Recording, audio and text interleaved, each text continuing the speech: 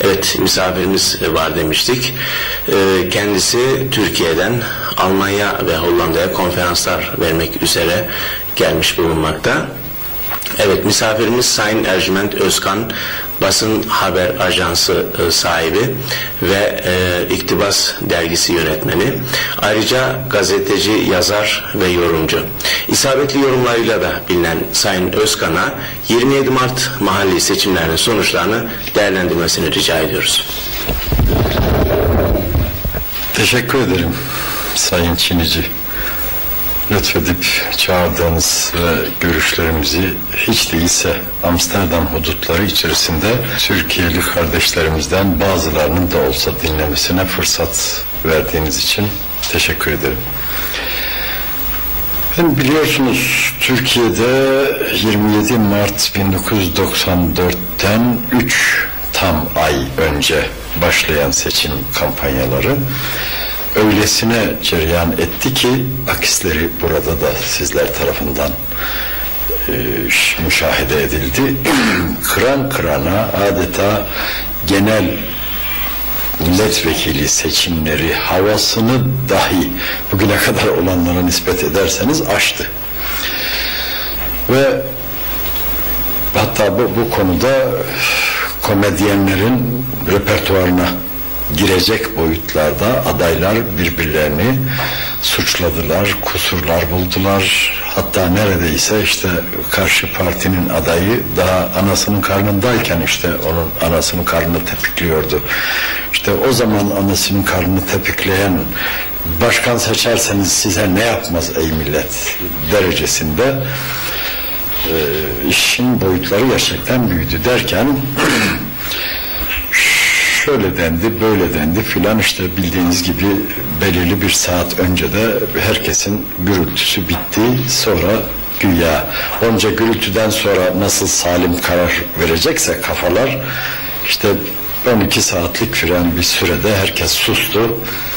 Her zaman yaptığı gibi de demokrasi 5 sene içki, kumar, tabanca her bir şeyi serbest bırakır. 5 senede bir gün seçim günleri e, bu gibi şeyleri yasaklar güya karar verirken bari aklı başında olsun millet dercesine bu da işin demokrasinin mahiyetinin nedenli tutarlı olduğunu gösteren yanı olarak değinmeden edemiyorum. Velhasıl seçim oldu. işte belli saatte bitti. Sandık heyetleri, her partinin müşahitleri filan sayıldı, çatıldı filan hiç e, tahmin edilen ama kabul edilmek istenmediği için de e, pek ihtimal de verilmek istenmeyen sonuçlarla karşılaşıldı. Mesela e, oyların beşte birini aşağı yukarı kazanan yüz oydan yirmisini kazanan Refah Partisi'nin Türkiye'nin iki büyük şehrini 10 milyonu aşan nüfusuyla İstanbul Anakent Belediye Başkanlığı'nı küçük İstanbul'a nispetle küçük de olsa Atatürk'ün kurduğu layık Türkiye Cumhuriyeti'nin baş şehri olmasının en önemli niteliği olarak üstünde bulunduran Ankara Anakent Belediye Başkanlığı'nı da bu kimsenin pek hesaba katmak istemediği, ciddiye almak istemediği partinin kazanmış olması daha da ileri giderek şunu söyleyeyim İzmir 3. Türkiye'nin 3. büyük şehri olan İzmir Belediye Başkanı'nın da daha evvel başkanlık yapan Burhan Özfaturaca her ne kadar refahın adayı değilse de işte abdestli, namazlı, muhafazakar falan filan yani işte refahçılar tandansında bir kişi tarafından kazanılması bir bakıma üç büyük şehirde mevcut partilerin hele hele rejimin ana direği sayılan, temeli sayılan partilerin e, halk tarafından dışlanması ve rejim karşıtları diye lanse edilmek istenen insanların öyle midir değil midir bir, bir yana şimdilik bırakarak söylüyorum. Ana şehir belediyelerini kazanmasıyla sonuçlandı. Daha evvelki söylemlerinde Refah Partisi'nin bir takım yeşilimsi renkler, yeşilimsi tonlar bulundurduğunu hemen herkes ya bizzat görerek veya basından okuyarak işte medya araçlarından seyrederek biliyor. Çünkü Refah Partisi daha önce Milli Selamet Partisi İlhan doğduğunda da adı Milli Nizam Partisi idi ki 25 yaşında bugün. Ama bekara avrat boşamak kolay diye bir Anadolu sözü var. ne olsa evli değilim, henüz bekarım diye vaktiyle işte evleneceğim kız bir bardak su isteyin vermesin. Hanımım olunca hemen boşarım.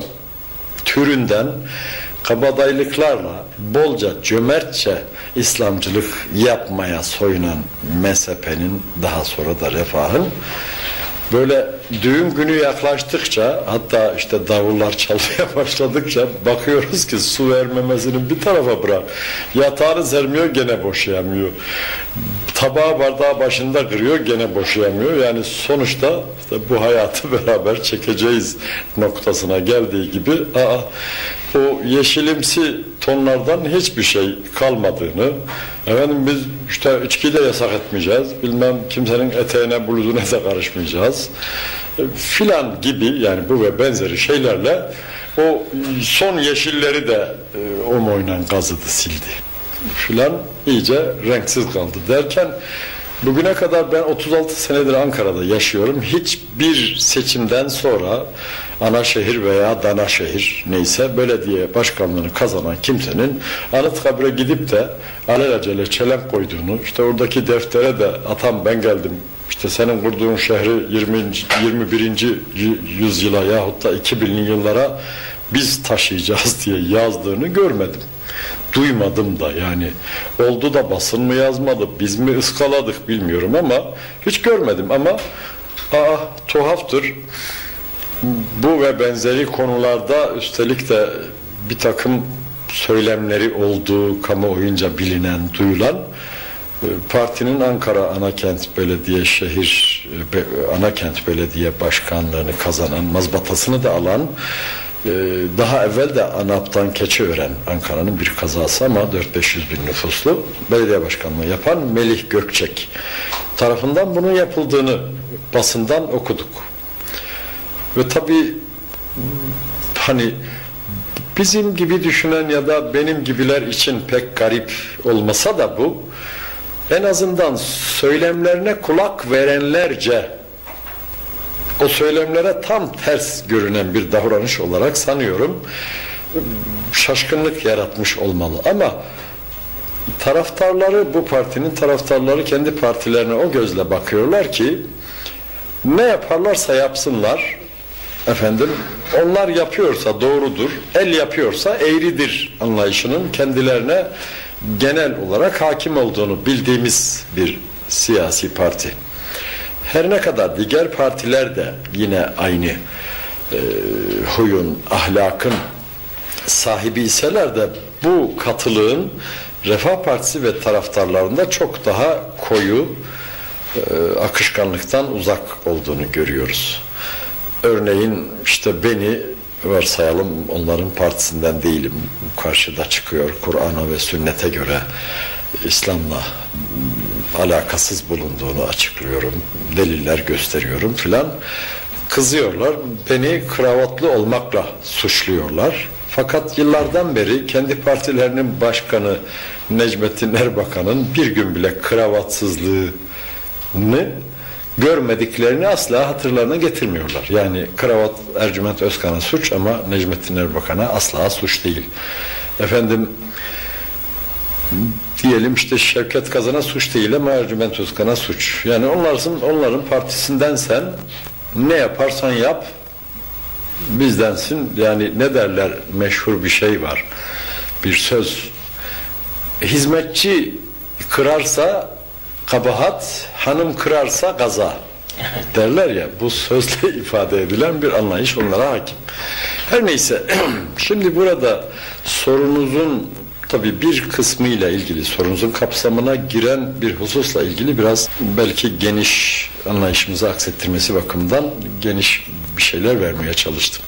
Diğer partilere gelince hükümet ortağı olarak neredeyse iki buçuk yıldan beri e, birinci Demirel Başbakanlığında birinci koalisyon hükümeti, Çiller'in başbakanlığında ikinci koalisyon hükümetiyle Doğru Yol Partisi ve SHP'nin Sosyal Demokrat Halkçı Parti'nin de meydana gelen hükümet, koalisyon hükümet olmanın avantajlarını da sonuna kadar kullanmalarına rağmen özellikle SHP'de yüzde on sekiz yirmilerden yüzde onlara kadar bir düşüş yani yüzde elli bir kan kaybı görüldü.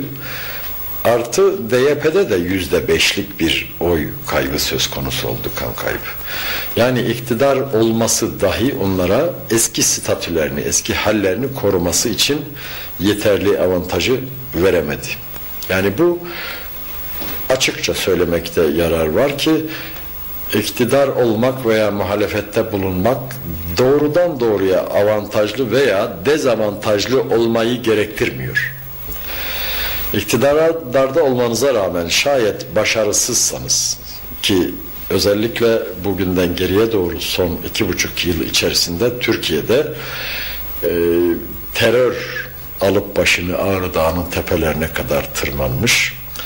Diğer yandan enflasyon yüzde onların altına indireceğiz, tek rakamlara indireceğiz iddiasıyla başa gelenler, üstelik de bunun için 500 günlük vade biçenler, bu vadeli bir çekin altına imza atanların canını kurtarmak kurtarmak için çeki ödememek için yani sözünü yerine getiremeyeceği anlaşılınca Çangay'a canını zor attığını görüyoruz.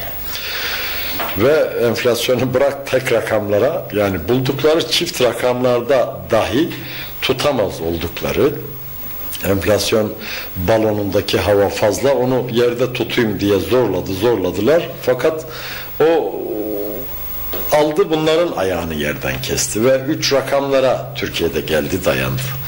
Biliyorsunuz repo faizlerinin bir gecelik nispetinin 1200'lere yüzde 1200'lere çıktığı bir Türkiye.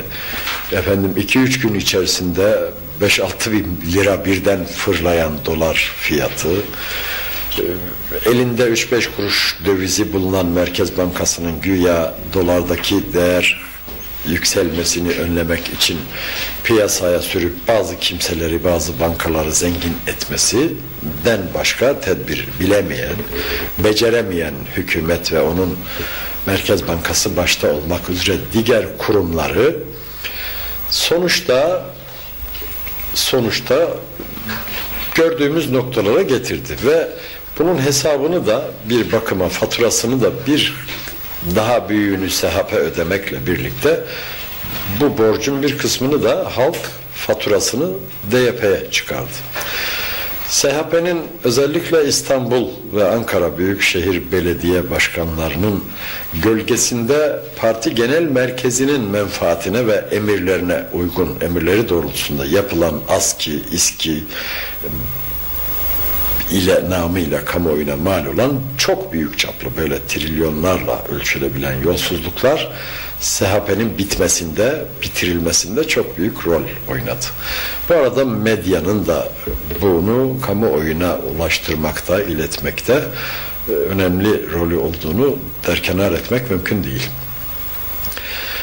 Ben diğer partilere gelince yani ANAP üzerinde durur isek ANAP'tan beklenen performansı görmeyen halk yani Turgut Özal'ın anapı ile Mesut Yılmaz'ın anapı arasındaki farkı fark eden halk muhalefette olmasına rağmen ki Türkiye'de biliyorsunuz halkın geleneksel olarak şöyle bir haleti ruhiye taşıdığını herkes bilir.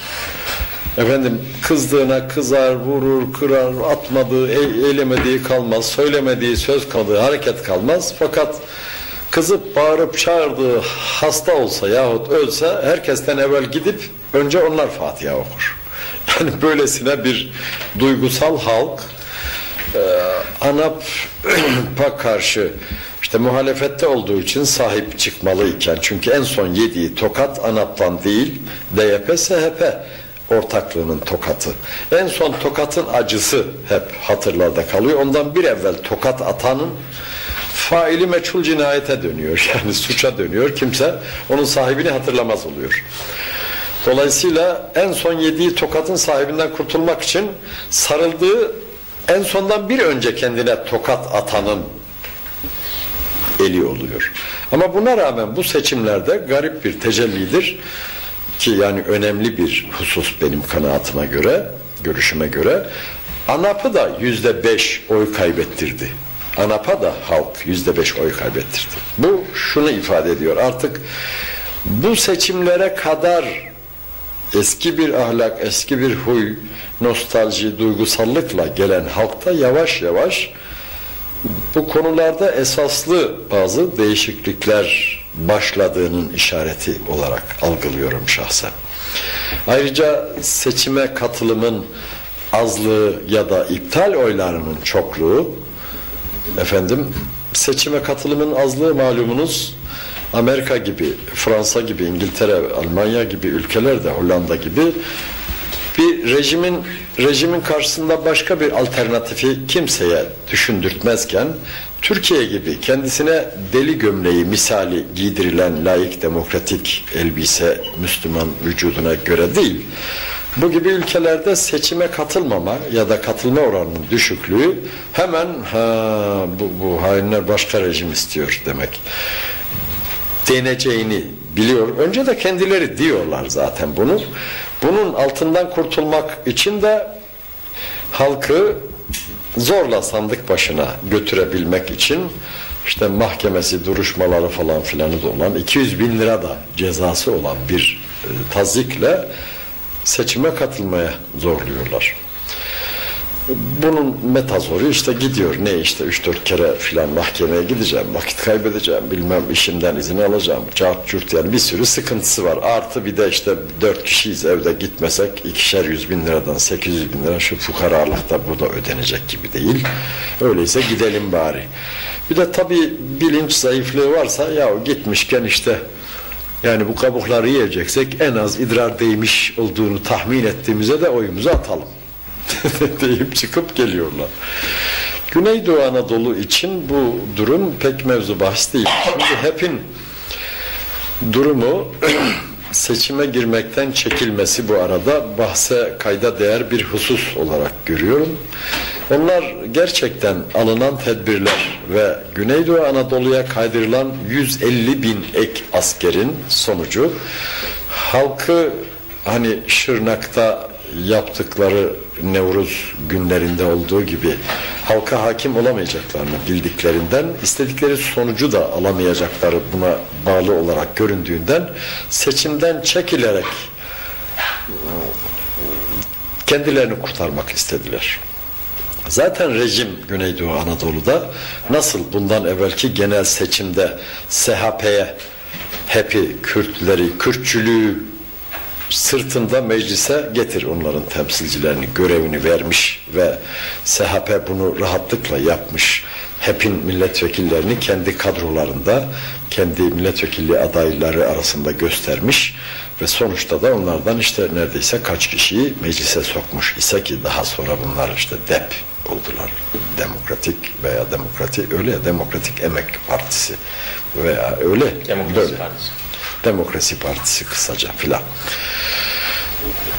Şimdi bu açıkça şunu gö gösteriyor. Yani burada kurnazlık yaptı de, e, DEP diye Demokrasi Partisi. Nasıl bir kurnazlık? İşte seçime katılıp da mağlup olmaktansa turnuvadan çekilip halkı halkın sandık başına gitmemesi konusunda ne kadar halk üzerinde etkili olursak ya da gidip çıkacak iptal oylarının amacı başka başka da olsa kullanılan iptal oyların hepsini bize verilmiş oy olarak kamuoyuna sunarız. Böylece mağlubiyetimizi örtmüş oluruz. Yani ben yenilmedim, işte çelme takıp beni düşürdüler, ben düşmedim diyebilmek için. Evet sonuçta gördüğümüz manzara ortaya çıktı ve yazılıp çizilenlere, medyada söylenenlere bakılırsa gerçekten olup biten olayların gerçeğine uygun bir yorum yapmak ya da bu konuda açıklamalar, düşüncelerini belirtmeleri beklenen yazar çizer takımının bol tirajlı, yüksek tirajlı günlük gazetelerden haftalık dergilere kadar. Hatta daha ötesi işte görüntülü medya dediğimiz televizyonların, radyoların dahi olayın gerçeğinin açığa çıkmasına yardımcı olacak yorumlar yapma, olayın gerçeğini anlatan, olayın gerçeğini ışıklandıran yorum yapmaktan ziyade bu konuda olmasını arzu ettiklerini yorum diye gündeme getirdiklerini arzularını gerçeği ifade etmek için olup biteni yormak yerine onu yorumlamak yerine olmasını istediği şeyleri neleri arzu ediyorlarsa onları olmuş şeyler gibi ya da olması gerekeni olmuş gibi yani böyle olması gerekir. Sana nasıl olması gerektiği sorulmuyor. Ne isteniyor senden? Olan olayı yorumlaman isteniyor. Hoşuna gitse de sebepleri gitmese de yor. Sana arzun sorulsa arzun şu. Ama gerçek bu. Fakat bu gerçek benim hoşuma gitmiyor. Ben şunu arzu ediyorum diyebilirsin. Ama yorum yapıyorum diye çok insan neyi arzu ediyorsa arzusunu söylüyor. Arzu başka, yorum başka. Adı üstünde yani. Birisi kendisinin istediği, isteği, öbürü de olan vakanın gerçeğine uygun bir şekilde anlatılmasıdır yorum. Sebeplerinin tahlilidir. Niye bu sonuçlar çıkmıştır? Nereden çıkmıştır? Nereden gelip çıkmıştır? Yoksa gökten mi düşmüştür? Yani bunları anlatmak gerekirken tam tersine bir tutumla karşı tarafı da biraz kakalamak için onları daha da yeşil renginden soyutlamaya yönelik olarak tıpkı Kur'an-ı Kerim'de Allah diyor ya sen onların dininden olmadıkça onlar senden asla razı olmazlar. Bu ayetin çok çarpıcı anlamı günümüzde de aradan geçen 14 asırdan sonra kıymetinden bir miligram dahi kaybetmeden gerçeği vurgular bir ifadeyle karşımızda duruyor. Bu durum insanı da düşündürüyor. Şimdi Refah Partisi gerçekten İslamcı bir parti mi? Değil mi? Bakalım yani gerçeğini anlamaya çalışalım. Görüyoruz ki 20 Ekim 1993 gece 23.30'da başlayıp 01.30'a kadar Kanal 6'da yapılan dinamit programında bir konuşmacı olarak aşağı yukarı seçimleri hariç ama konusu yine Refah Partisi ve ondaki genel kurul sonrası değişikliklerin gündemini teşkil ettiği konuşmamızda da belirttiğim gibi bu halk İslam'ı fevkalade yani Türkiye halkı bütün unsurlarıyla İslam'ı fevkalade çok seviyor. Onu onun uğruna yapamayacağı şeyin olmadığını her vesileyle gösteriyor. Lakin bunca sevdiği İslam'ın niceliği, nasıllığı, niteliğiyle ilgili maalesef anne babasından büyüklerim dediği önünde gördüğü kimselerden çocuklarına bir kelime, bir harf dahi eklemeden onu tekrar eden geleneksel dediğimiz sevgisiyle, ibadetiyle, düşüncesiyle, okumasıyla, yaşamıyla, her şeyiyle tamamen büyükler dedikleri anne babalarını üzerinde bul, yürür buldukları yolda yürümeyi İslam üzerinde yürüme sanan bu sanılarından dolayı da İslam'dan o yol İslam'dan uzak olduğu nispette kendileri de İslam'dan uzakta kalan onca sevdim demesine rağmen, seviyorum demesine rağmen, uğrunda fedakarlıklar yapmalarına rağmen onu sorsanız yani şu İslam mı? Hatta İslam'dan bazı şeyler gündeme getirseniz bile tıpkı Mecnun'un gerçek Leyla artık evlensinler de eve dönsün diye karşısına çıkarılıyor. işte oğlum Leyla burada. Gel artık şu çölleri bırak filan. Bakıyor bakıyor. Aşkı gerçek Leyla olan o Leyla ile başlayan o yüzden çöllere düşen ve Mecnun adı alan bilmem Kays efendim bakıyor diyor bu, bu Leyla değil ben Leyla'yı istiyorum diye gerçek Leyla ile başlayan şey zaman içerisinde hayali Leyla'ya dönüştürdüğünden Fuzuli'nin Leyla ve Mecnun'un da bu güzel bir şekilde anlatılır. Ve tekrar çöle dönüyor. Yani artık o onun aradığı Leyla bulunmaz, yok. O noktadan itibaren onun ifadelendirdiği Leyla gerçekle alakası olmayan Leyla. Kura, kura, kura, kura kafasından nasıl bir Leyla icat ettiyse gerçeği yeryüzünde olmayan bir Leyla. Onu arıyormuş. Yani bulamayacağı belli. Halkın da İslam'a sevgisi adeta böyle. Yani biz bir Müslüman olarak 35-40 yıldır bu halka bu dinin kitabı olan Kur'an'da yazan İslam'ı yani işte aşık olduğun Leyla bu der gibi senin aşık olduğun din burada bak işte bu onun kitabı Kur'an. İşte şu diyor bakıyor yok diyor bu, bu Leyla değil yani bu İslam bu değil. Ben Leyla'yı istiyorum. Leyla istediği Leyla ne? İşte mahallenin kıytırık imamından öğrendiği Leyla. Efendim e, babasından duyduğu Leyla, anasının tanımladığı Leyla ki alayını toplasan bir incir çekirdeğini doldurmayan Leyla yani İslam. Aşkı ona yani nostaljiye dönüşmüş veya bilmem kuruntuya dönüşmüş, gerçeğinden uzaklaşmış. Bu bakımdan siz sahisini karşısına getirip gösterdiğiniz zaman yok diyor. Leyla bu değil. Yani ben Leyla'yı istiyorum. Ben İslam bu değil, ben İslam istiyorum. Yahu nasıl bu olmaz? Allah'ın kitabının adı Kur'an değil mi? He. E, Kur'ansa işte bak Kur'an'dan filan surenin filan ayeti bu. Falan surenin filan ayeti. Resulullah Aleyhisselatü Vesselam'ın mütevatiren bize gelmiş haber bu. Ama onlar ayet nedir, hadis nedir, kitap nedir, iman nedir bilmeden büyüdükleri için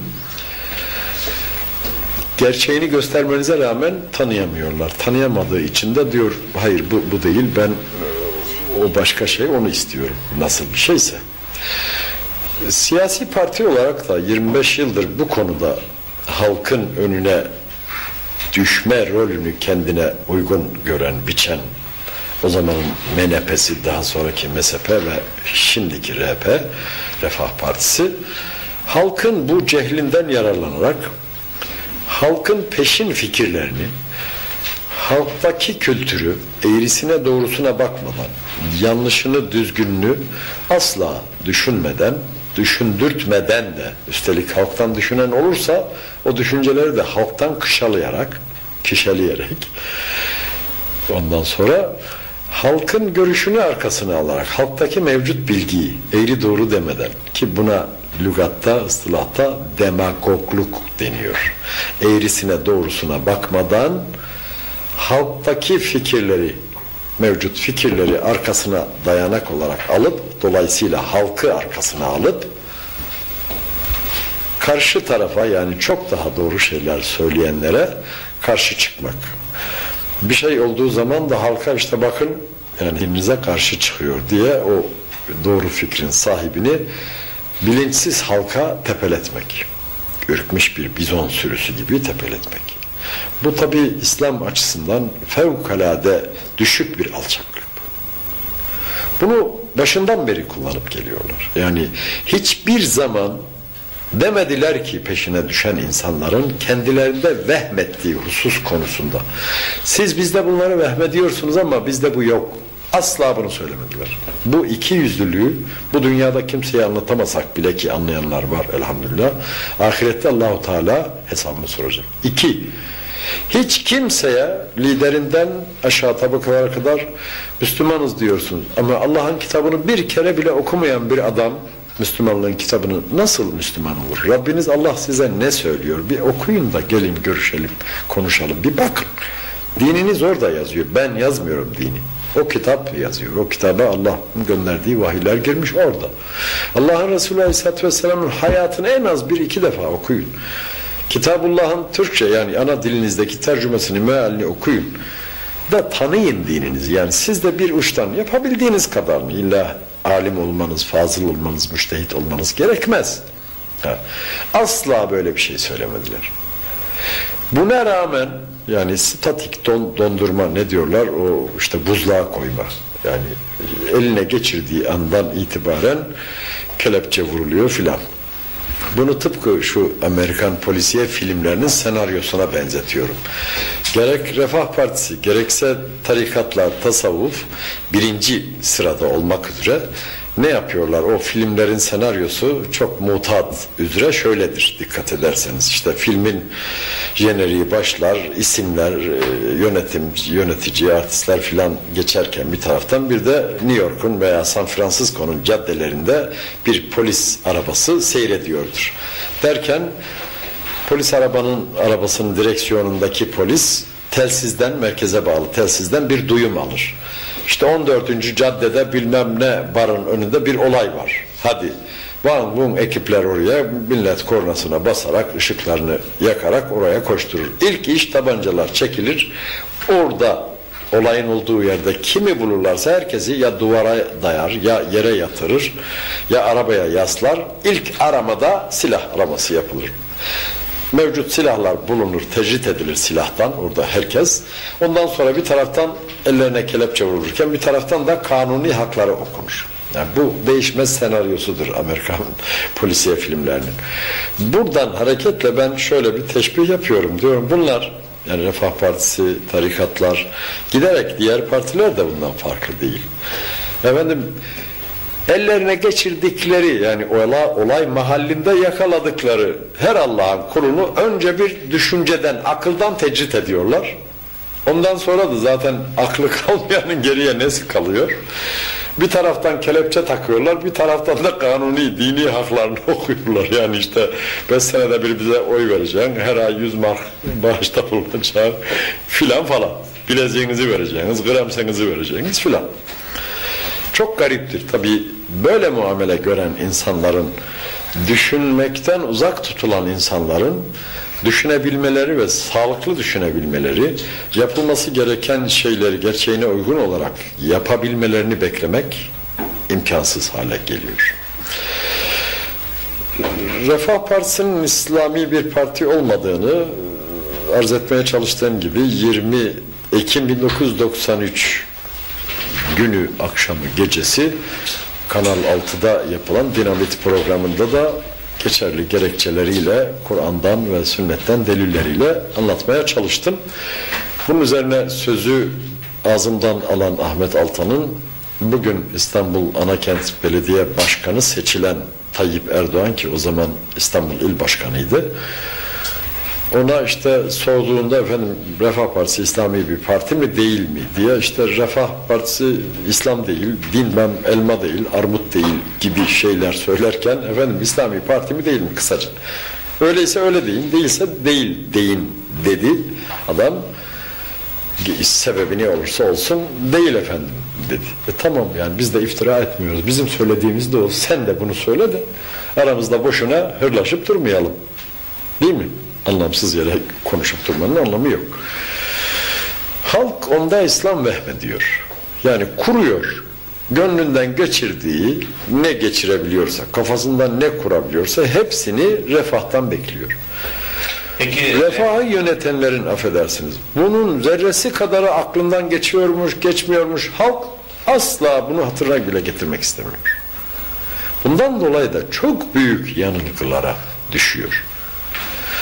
Refahın bugünkü durumunu adeta şeye benzetiyorum. Yine hani hurda arabaların yığıldığı o depolarda filan bütün arabaları kırarlar, dökerler, yasıltırlar filan hani fabrikaya gönderip eritecek, yeniden metal yapacak filan. Onların da çok büyük bir şey gelir üstüne vinçe bağlı olarak elektromıknatıs.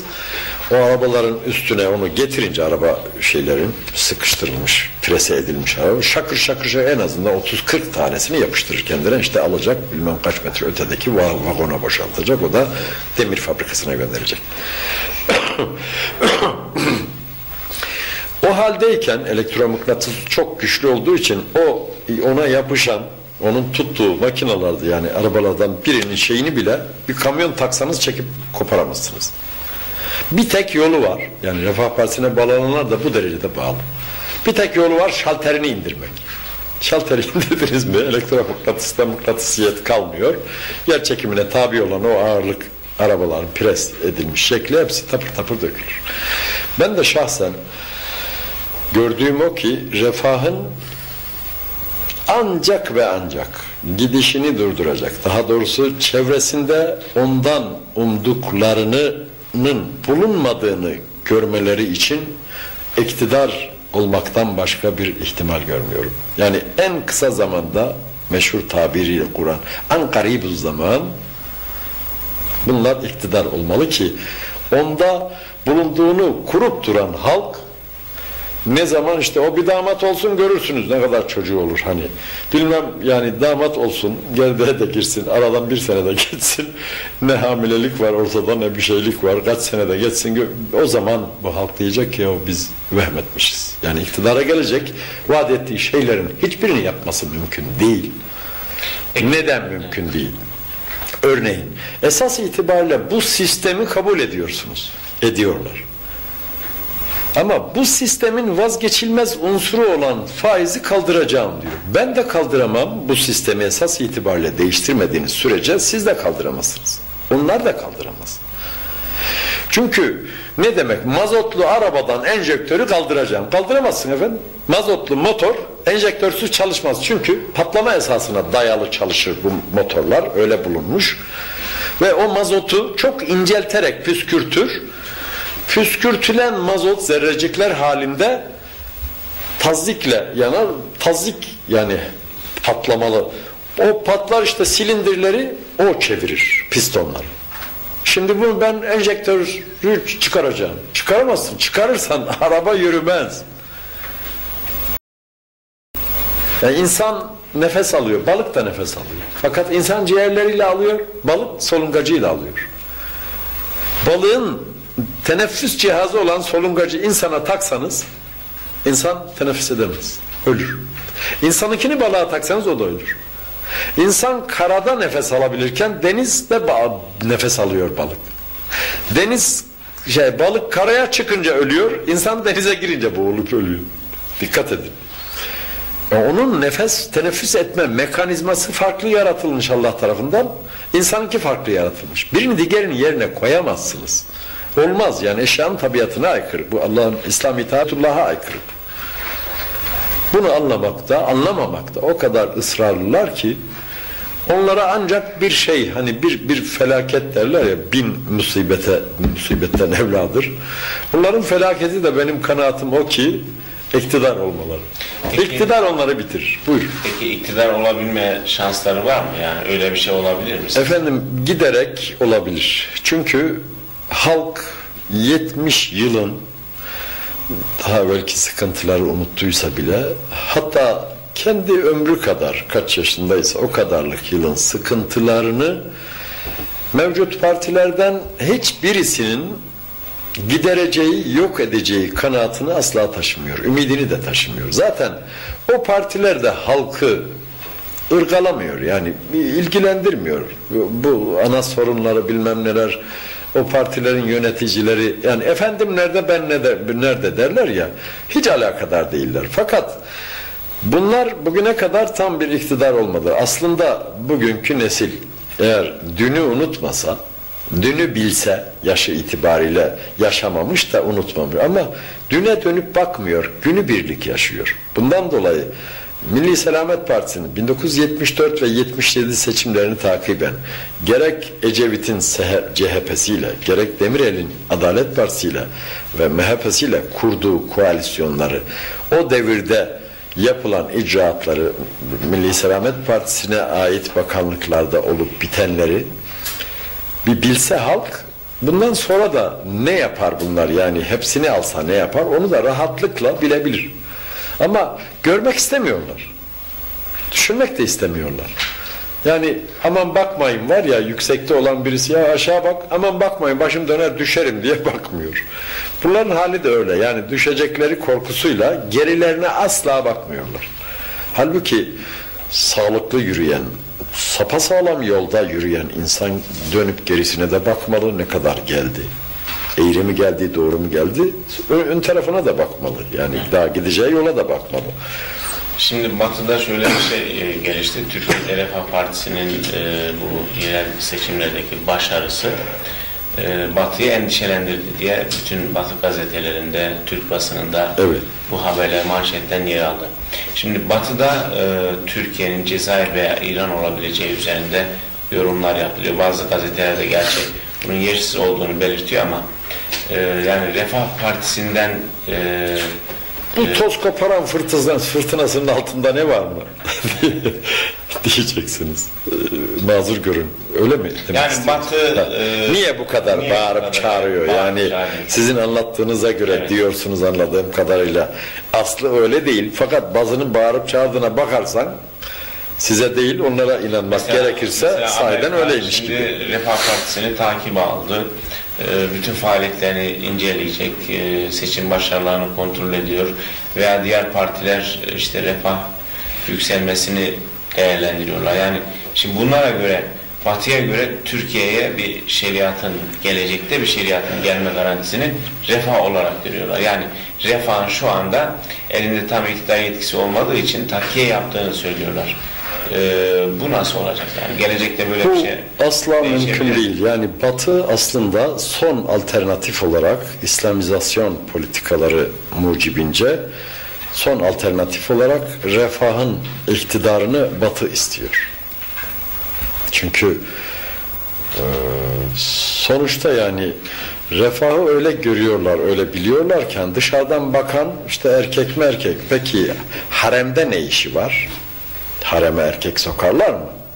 Yok. Şimdi bunlar bu rejimin düşmanı ama layık demokratik cumhuriyetin hareminde yani Türkiye Büyük Millet Meclisi'nde cirit atıyorlar. O zaman işin içinde bir iş olmalı. Demek ki bunlarda bir siyasi hadımlık var. Yani İslami bir şeyle söylersek yani şu şunu demek istiyorum. İslam tohumlama yani tohum İslam tohumu yok. Dolayısıyla kimseyi İslam'la tohumlayacağı endişesi bulunmadığı için İslam görünen bunları laik demokratik haremde dolaşmasına izin veriyorlar. Peki Oralara sokuyorlar. Yani neden? Rejimlerine zarar gelmeyeceğini bildikleri için. E, mezarcı olayını nasıl değerlendiriyorsun? Yani mezarcı şimdi bazı çıkışlarda bulundu. Özellikle seçime çok az bir zaman kala. Evet. E, bunu e, provokatör olarak değerlendiriyorlar veya ajan olarak da suçlayan oldu. Evet. E, bunun çıkışını nasıl değerlendiriyorsunuz? Hem bu daha münferit bir ayrı olaydır. Kısaca fikrimi, görüşümü beyan etmekte yarar umuyorum. Ee, Hasan Mezarcı ne provokatör benim bildiğim kadarıyla ne ajan ne beşinci gol ne altıncı gol. Hasan Mezarcı e, heyecanını yenemeyen, kendine göre kafasına taktığını yapmazsa yaşamında rahat etmeyeceği düşüncesiyle daha evvel yaşadığı ve seçim bölgesi olan İstanbul'un Üsküdar'ında düşüp kalktığı insanlara verdiği sözlerin altında ezildiği için bildiği şeyleri yani bildiği bu kadar zaten işte ya bilmem anası babası yok ya bilmem bir taraftan Anıtkabir yıkılsın öbür tarafta efendim Bediüzzaman'a Anıtkabir yapalım e, diye e, kısır bir anlam ifade etmeyen yani İslami açıdan da bir mesaj taşıması mümkün görünmeyen şeylerle uğraşan birisi yani o bakımdan ne onun için söylenen ne onun için söylenen provokatör, ajan filan gibi şeyleri ciddiye almak mümkün ne de aslında onu kimse ciddiye alıyor. Yani söylediklerini de ciddiye almıyorlar. Nasıl ki Almanya'da Cemalettin Kaplan'ı kimse ciddiye almıyor. Ama ciddiye alır, alıyormuşçasına bakıyorsunuz iki ay geçmiyor, bir ay geçmiyor. İşte Piyasaya büyük tirajlı gazetelerde ısıtılıp ısıtılıp temcit pilavı gibi kamu. Kara ses şöyle dedi bilmem yani duyan zanneder anne kaç kaçın geliyor. Kim gelecek yani bu fukara yani doğru dürüst üstünü başını giymek diye giyinmekten aciz. Yok devlet kuracağım burada hilafet bilmem ilan etme. Evcilik oynadığı gibi çocukların devletçilik oynuyor garip. Bu iş evcilik oyunu gibi değil ki. Devletin şakası yok. Devlete arazi gerek. Devlete üstünde inanmış halk gerek. Devlete arazisi hudutları içerisinde kendini iktidara getiren, biat eden kimselerin tabi olacağı hükümlerle hükmetmek gerek. Devletin diğer devletlerle ilişkilerinde ilahi kelimetullahı esas alan dış politikası gerek İslam devleti için. Bunlar gerek. Bunların hiçbirinden haberi yok. Ne dediği belirsiz Şia'nın 12 imam dediği gibi bu da bir 12 ilim bellemiş. ne olduğunu kendinin de bildiği yok. 12 ilmi onlar bilmiyor falan diye muhatap. Bunu ikide bir gündeme getiriyorlar. İkide bir getiriyorlar. Niye acaba? Yani rahatlıkla bunun hiçbir kıymeti harbiyesi olmadığını taraftarlarında kendilerinin yaptıklarından belli. Yani bir salonu tutup da onun ortasına bir heykele benzer birisini dikip boynuna ip geçirip işte salonun içinde sürüklemek kadar basit bir iş yok. E, Adamlarına, gençlerine efendim e, ellerine tahtadan yontulmuş makine tüfeğe benzer şeyler verip 20 yüzan çocuklarının sahnede piyes, yap, piyes yaptığı gibi şeyler yapması komik. Ayrıca daha büyük komiklikler 1985'te ben evinde misafir kaldım Ankara'dan. Ben onu 34 seneden beri tanırım. Adam anayasa tasarısı hazırlamış, tasarı da demiyor anayasa. Halbuki kabul edilmemiş ve yürürlükte bulunmayan şeyler için henüz kabul edilmemiş ve yürürlükte bulunmayan şeyler için tasarı deyimi kullanılır. Yani daha adını koyacağı adı bilemeyen adam anayasa hazırlıyor. Kaldı ki anayasa hazırlamak benim diyen anayasa profesörünün dahi işi değil. Çok özel ihtisas işleyen, isteyen. Hazırlamış ve bunu bir mektupla kendisinin söylediğini naklediyorum ben. Bond'daki ne kadar yabancı misyon yani elçilikler varsa oraya postalamış biz Köln'de İslam devleti kurduk bizi kabul edin diye. Yahu dedim ne yaptım hoca batırmışsın ya altına etmiş. Ne yaptın sen yani dumanı üstünde şurada bak İran'da bir devlet var. Hümeyni var Ayetullah Hümeyni. Bir sor yahu yani anayasasını Amerikan sefaretine, İngiliz sefaretine, Şili, Peru bilmem ne Çin sefaretine gönderip bizi kabul edin demiş mi? Yani bir sadıçlık ederdi sana yani bu iş nasıl olur? Sen tamamen evcilik oynuyorsun yani. 3 yaşında çocukların hani anne baba olup da babasının el, ayakkabısını giyer içinde şu kadar ayak. Öbürü anasının ayakkabısını giyer. Misafir gelir giderler birbirlerine kahve mahve ikram ederler filan hani evcilik oynayan çocukların hali gibi. Şimdi o yaştaki çocuklar inana inana bunu oynayabilir ama büyükler onları gördüğü zaman çocuklar işte Allah kısmet etsin de hani o yaşlara gelince anne de olsunlar baba da olsunlar da güler onların bu haline. Ama bir insanın nüfus cüzdanı yaşı bu kadar büyüdükten sonra hala evcilik oynarsa bunda bir zeka geriliği, bir zeka duraklaması olduğu hükmüne varılır ve tedavisi cihetine gidilir. E yakınları da yok ki yani bir kendi farkında değil bir hastaneye götürüp de bir muayene ettirseler. Yani anlatmak istediğim şey gerek Refah Partisi ile ilgili Avrupa'da, Batı'da diyelim ve hakeza batıya da dünyaya da şu anda önderlik ettiğini söyleyen ve hükümran olan Amerika'da Refah Partisi ile ilgili koparılan fırtınaların tıpkı Türk basınında durup durup Cemalettin Gaca şeyi Kaplan için işte efendim kara ses geldi geliyor bilmem filan falan demesine benziyor. Nedir peki amaçları? Yani onu bahane ederek sahih İslam'a sahip çıkmak isteyenlerin bu arzularını kursaklarında bırakmak. Amerika'nın ve Batı'nın da Türkiye'de refahla ilgili tavrı tıpkı basının Cemalettin Kaplan'la ilgili tavrının paralelinde ve aynı cinsten aynı keyfiyette tavırlardır. Onlar refahı bilmiyor mu? Bu işlerin uzmanı adamları var. Türkiye'de yaşamıyor. Adam geliyor üç gün dört gün Ankara'da bir otelde kalıyor. Gidiyor New York Times'te yok bilmem nerede Time dergide bir makale yazıyor. Ana kılcal damarlarına varana kadar o toplumdaki siyasi vetireyi vakayı bir yazmış hayret. Türkiye'de yaşayan öyle bilmiyor. Tabii bizim gibi özel olarak ilgilenenler hariç. Hayret etmemek mümkün değil. Bu kadar ehil, refahı yeni mi tanıyacak onlar? Bir televizyon programında Aydın Menderes'in Demokrat Partisi'nin ki o zamanki adı Büyük Birlik Partisi mi? Yok. Ne? Büyük Değişim Partisi. Evet. Senin başkan yardımcısı olan Profesör Mahir Kaynak var veya kur kurucularından. Ona o televizyon muhabiri, Flash televizyonu Ankara, İstanbul ve Bursa'da yayın yapan o televizyon muhabiri diyordu ki işte Sayın Kaynak bir şey oldu ve dedi ki adam Mahir Kaynak eski MIT'çi olarak emekli MIT bilmem nesi filan emekli olduktan sonra MIT'e daha fazla hizmet ediyor adam aslında. İşin bu da ayrı bir yanı.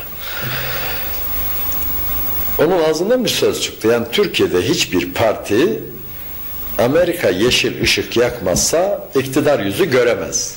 İktidara gelemez. Yani bu şu an için geçerli kuraldır dedi Mahir Kaynak.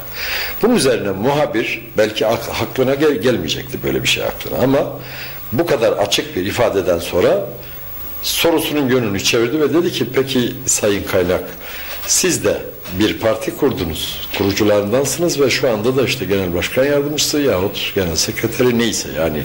Genel bu- başkan yardımcısıydı o Evet. Bu durumdasınız. Peki siz iktidar düşünmek istemiyor musunuz? İktidar istemiyor musunuz? Siz seçimlere girmeyecek misiniz? Gireceğiz dedi o.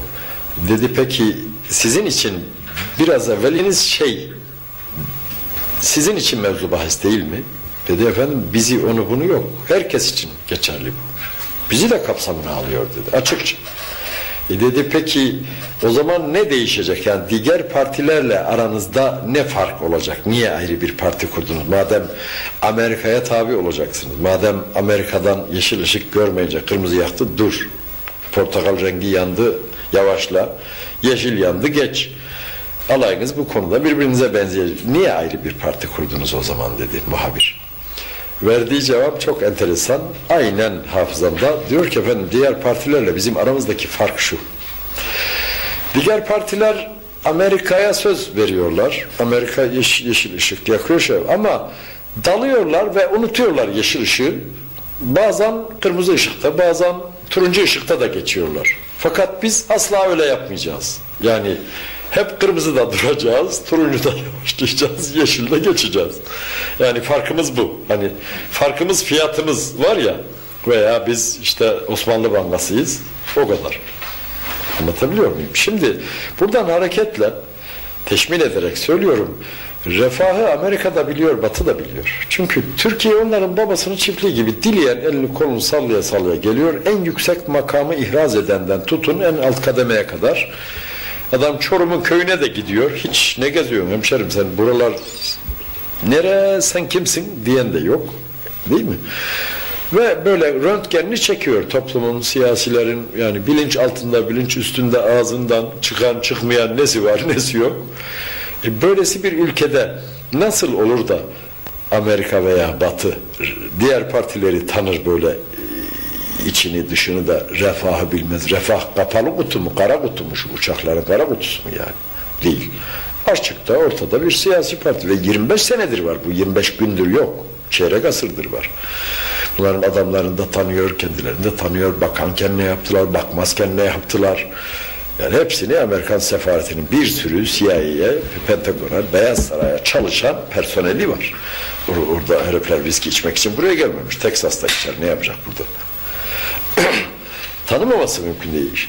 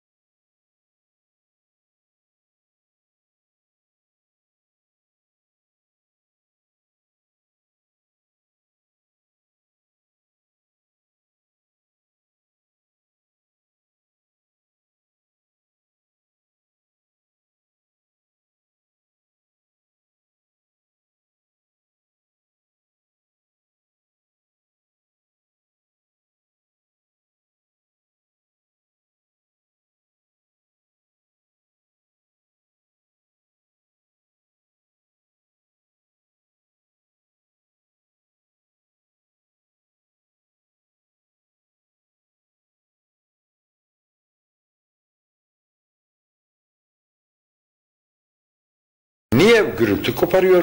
İşte Kur'an İslam'ına yönelik kursağında arzu bulunan deyim gereği söylüyorum. Kişilerin o arzularını gelişmesini engellemek, dışarı çıkmasını engellemek ve kursağında boğmak yani orada tutmak için. Yoksa refahın şahsında bizim gibi düşünenlere vurmak yani amaç bu. Nasıl ki kara sesle ilgili de öyle yapıyorlar. Neresi kara sesse gri ses bile değil yani. Hiç ses değil. Ne mesajı var? Anlatabiliyor muyum? Yani koparılan gürültü refahla doğrudan asla alakalı değil. Onların şahsında İslam'a diyoruz. Tabii kes, kesinlikle Kur'an İslam'ını. Mesela dış politika açısından ele alırsak örneğin Hümeyni'nin başından beri ölene kadar 10 yıl başında bulunduğu İran'daki İslam ne kadar İslam falan şu anda o konumuz değil. Ama siyasi olarak adamda Allah mağfiret etsin öyle bir basiret, öyle bir celadet, öyle bir heybet, mehabet vardı ki Amerika kuduruyor, çıldırıyor, hiç yerinde duramıyor, bir şey yapamıyordu. Amerika'yı gerçekten Suraka'nın atının burnunun üstüne çakılması gibi burnunun üstüne çaktı ve daha evvel Amerika hiç kimseden böylesi bir yumruk bir tokat hatırlamıyor. Yani mazisinde yok belleğinde. Hümeyni'den yediği tokattan önce kimseden tövbe yani çitmik yememiş derler ya hani. Çitmik bile yememişken Hümeyni burnunun üstüne vurunca arkası üstü yıktı Amerika. Peki, peki bu nasıl oldu? Yani e, ondan önce Bu bir ayrı vardı. konu. Yani şunu anlatmak istiyorum. Çok isterim yani bunları da konuşalım filan. Çünkü apayrı bir konu ve derinliğine anlatılmazsa genişliğine aydın bir şekilde dinleyenlerimiz işi kavramazlar ve işte yok İran yahut işte oradaki devrim bir şeye saymıyor filan gibi çok basit. Bizim düşündüğümüzün gerçeğiyle alakası olmayan sonuçlara varırlar.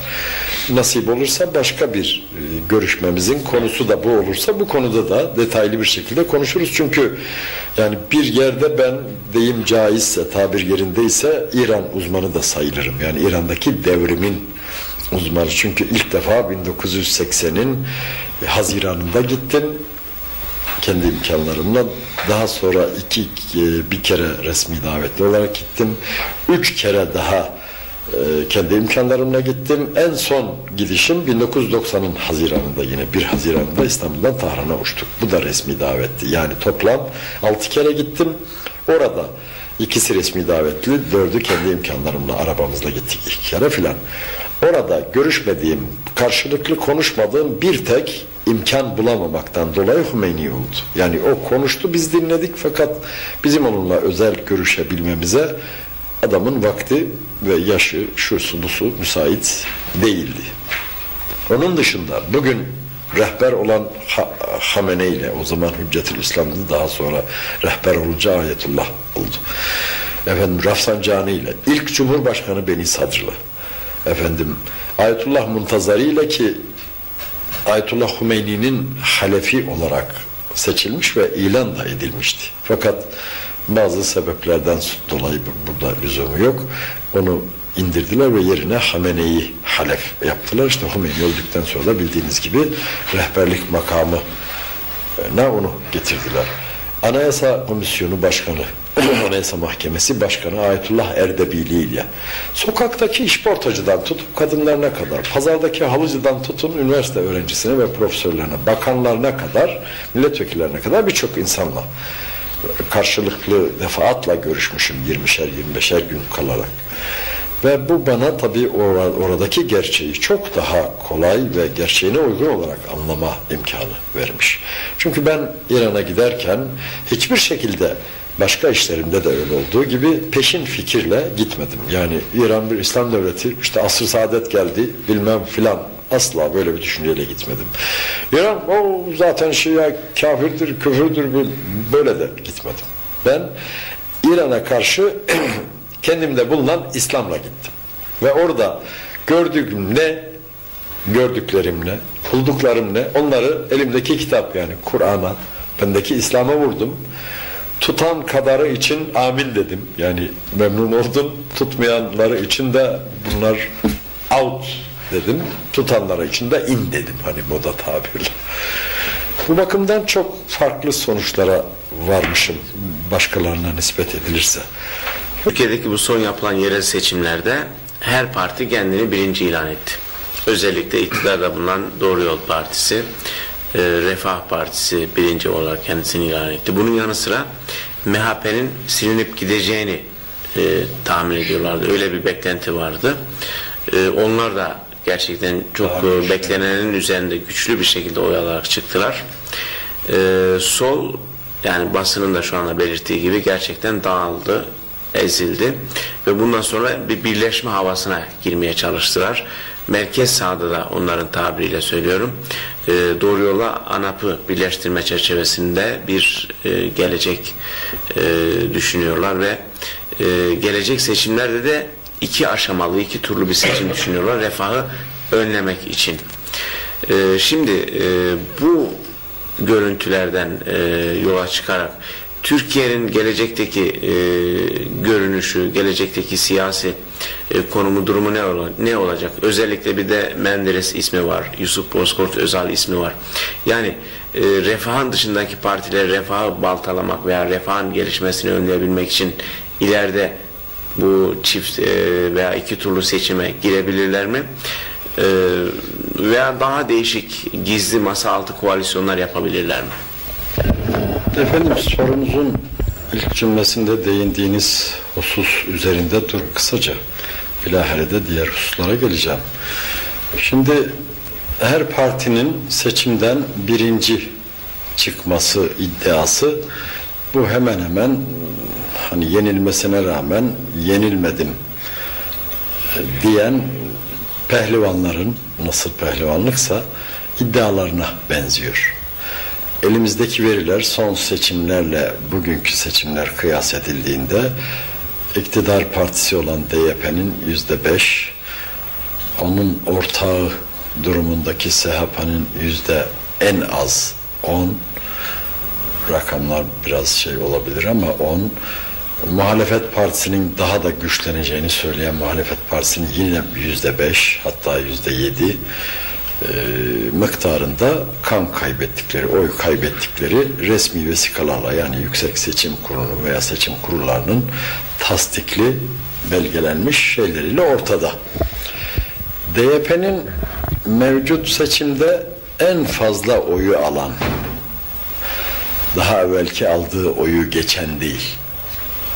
Oy alanlar içerisinde en fazla yani bir at yarışta bir çene uzunluğuyla da birinci gelir, bir baş uzunluğuyla da birinci gelir, bir boyun, bir beden veya beş at boyu arayla da birinci gelir. Şimdi Tansu Çiller'in DYP'sinin birinciliği bir çene boyuyla birinci gelmek eğer benzetmek uygunsa e, bundan başka bir anlam taşımıyor. Türkçe meşhur bir söz var hani ölür gider kuyruğu dik gider diye ölenler hep kuyruğunu dik tutmaya çalışıyor. Birinci derecede DYP, ikinci derecede de ANAP. SHP'ye gelince kuyruğunu dahi havada tutacak gücü kalmadığından onun kuyruğu da düştü yere. Ve tabii suçlu aramaya başladılar. İşte solun bölünmüşlüğüne son vermek istemeyenler bilmem şunlar işte Ecevit suçlu yok öbürü diyor Karayalçın suçlu belki diyor Deniz bilmem Baykal suçlu suçlu arıyorlar hani ahirette insanların halini andırıyor. Günahkar kula Allah sorduğu zaman onun cevabını anlatan bir ayet var diyor. Vallahi beni niye bunları yaptın dediğinde Allah e, Kur'an'da anlatıyor. Diyor şeytan beni azdırdı. Allah dönüyor şeytana bak diyor sen azdırmışsın öyle söylüyor. Ne diyorsun? Şeytanın Allah'a verdiği cevabı da Allah Kur'an'a iktibas etmiş. Diyor ki şeytan ya Rabbi beni onları olduğu gibi beni yaratan da sensin. Benim hiçbir gücümün bulunmadığını da bilirsin. Senin bilmediğin yok. Biliyorsun ki ben hiç kimseyi ne yoldan çıkarabilirim ne bir yanlış yaptırabilirim ne de hiçbir şey yaptıramam. Bunlar aslında hevalarına yani nefislerine, kendi kişisel arzularına uydular. Fakat yani onun için yaptılar bu yaptıklarını. Sana cevabını, hesabını veremedikleri şeyleri. Fakat kabahati alacak, e, atacak, suçu at üzerine atacak şey arıyorlar. Onun için bana yüklüyorlar. Yani sen bilmiyor musun ki ben kimseye güç yitiremem. Biliyorsun. Bu gerçeği yani nakletmekte yarar görüyorum. Ee, solun üç partisi arasında bunu andıran, bunu düşündürecek şeyler, diyaloglar olduğunu, cereyan ettiğini görüyoruz. Kamuoyuna da yansıyor. Yani birinci olarak çıktı doğru DYP ama beş puan kaybederek çıktı. Yani bir insan e, hastaneden çıkar da efendim taburcu olur fakat oraya girmeden evvelki sağlığıyla değil efendim böbreğinin teki alınmış olarak çıkar. Tabii sağlıklı çıkmış, taburcu olmuş ama iki böbrek tek böbreğe düşmüş. Örneğin vücuduna bıçak değmeyen adam artık yarım adam derler ya halk arasında. Bıçak yemiş, dikiş yapılmış, ameliyat edilmiş adam olarak çıkıyor. Yani DYP'nin durumu da bu. ANAP da hakeza buna benzeyen durumda. Şimdi seçim sonuçları daha evvelki seçim sistemine yani son 27 Mart seçimlerinin de kendine uygun olarak yapıldığı seçimlerde geçerli olan seçim sistemine göre yapılması özellikle iktidar partisi durumunda bulunan DYP ve SHP'nin bilerek uyguladığı bir şeydi. Yani bu sistem tek başına yüzde 26 mı 30 mu 27 mi ne alabilen bir partiye epeyce çoğunluk sağlayabilen karşı tarafın bölünmüşlüğünden de yararlanarak sağlayabilen bir sistemdi. Fakat refahın arkasında onu takiben MHP'nin gösterdiği atak hani şu yarışlarda atların işte atak yaptı bilmem ne filan geliyor meliyor gösterdiği atak sonucu aldığı sonuçlar bunları seçim sistemini iki dereceliğe döndürme iyi düşündürtmeye artı birbirine taban ve tavan itibariyle fikir düşünce itibariyle en çok benzeyen ama bölünmüşlüğün faturasını ayrı ayrı seçime girmenin faturasını da ağır ödeyen ANAP'la DYP'yi birleşmeye altından üstünden yüksek kadrolar da bunu konuşuyor. Aşağıdan millet de konuşuyor. Hakikaten bakıldığında tüzük program ve icraatları da gözümüzün önünde ki DYP ile ANAP arasında öyle ne esasi bir fark var. Esasi fark hiç olmadığı gibi füruatta da yani teferruatta da pek fark yok. Liderlerinin adı değişik. Hani o da şeyh, o da şeyh Ahmet Efendi, Beriki Mehmet Efendi. O kadar.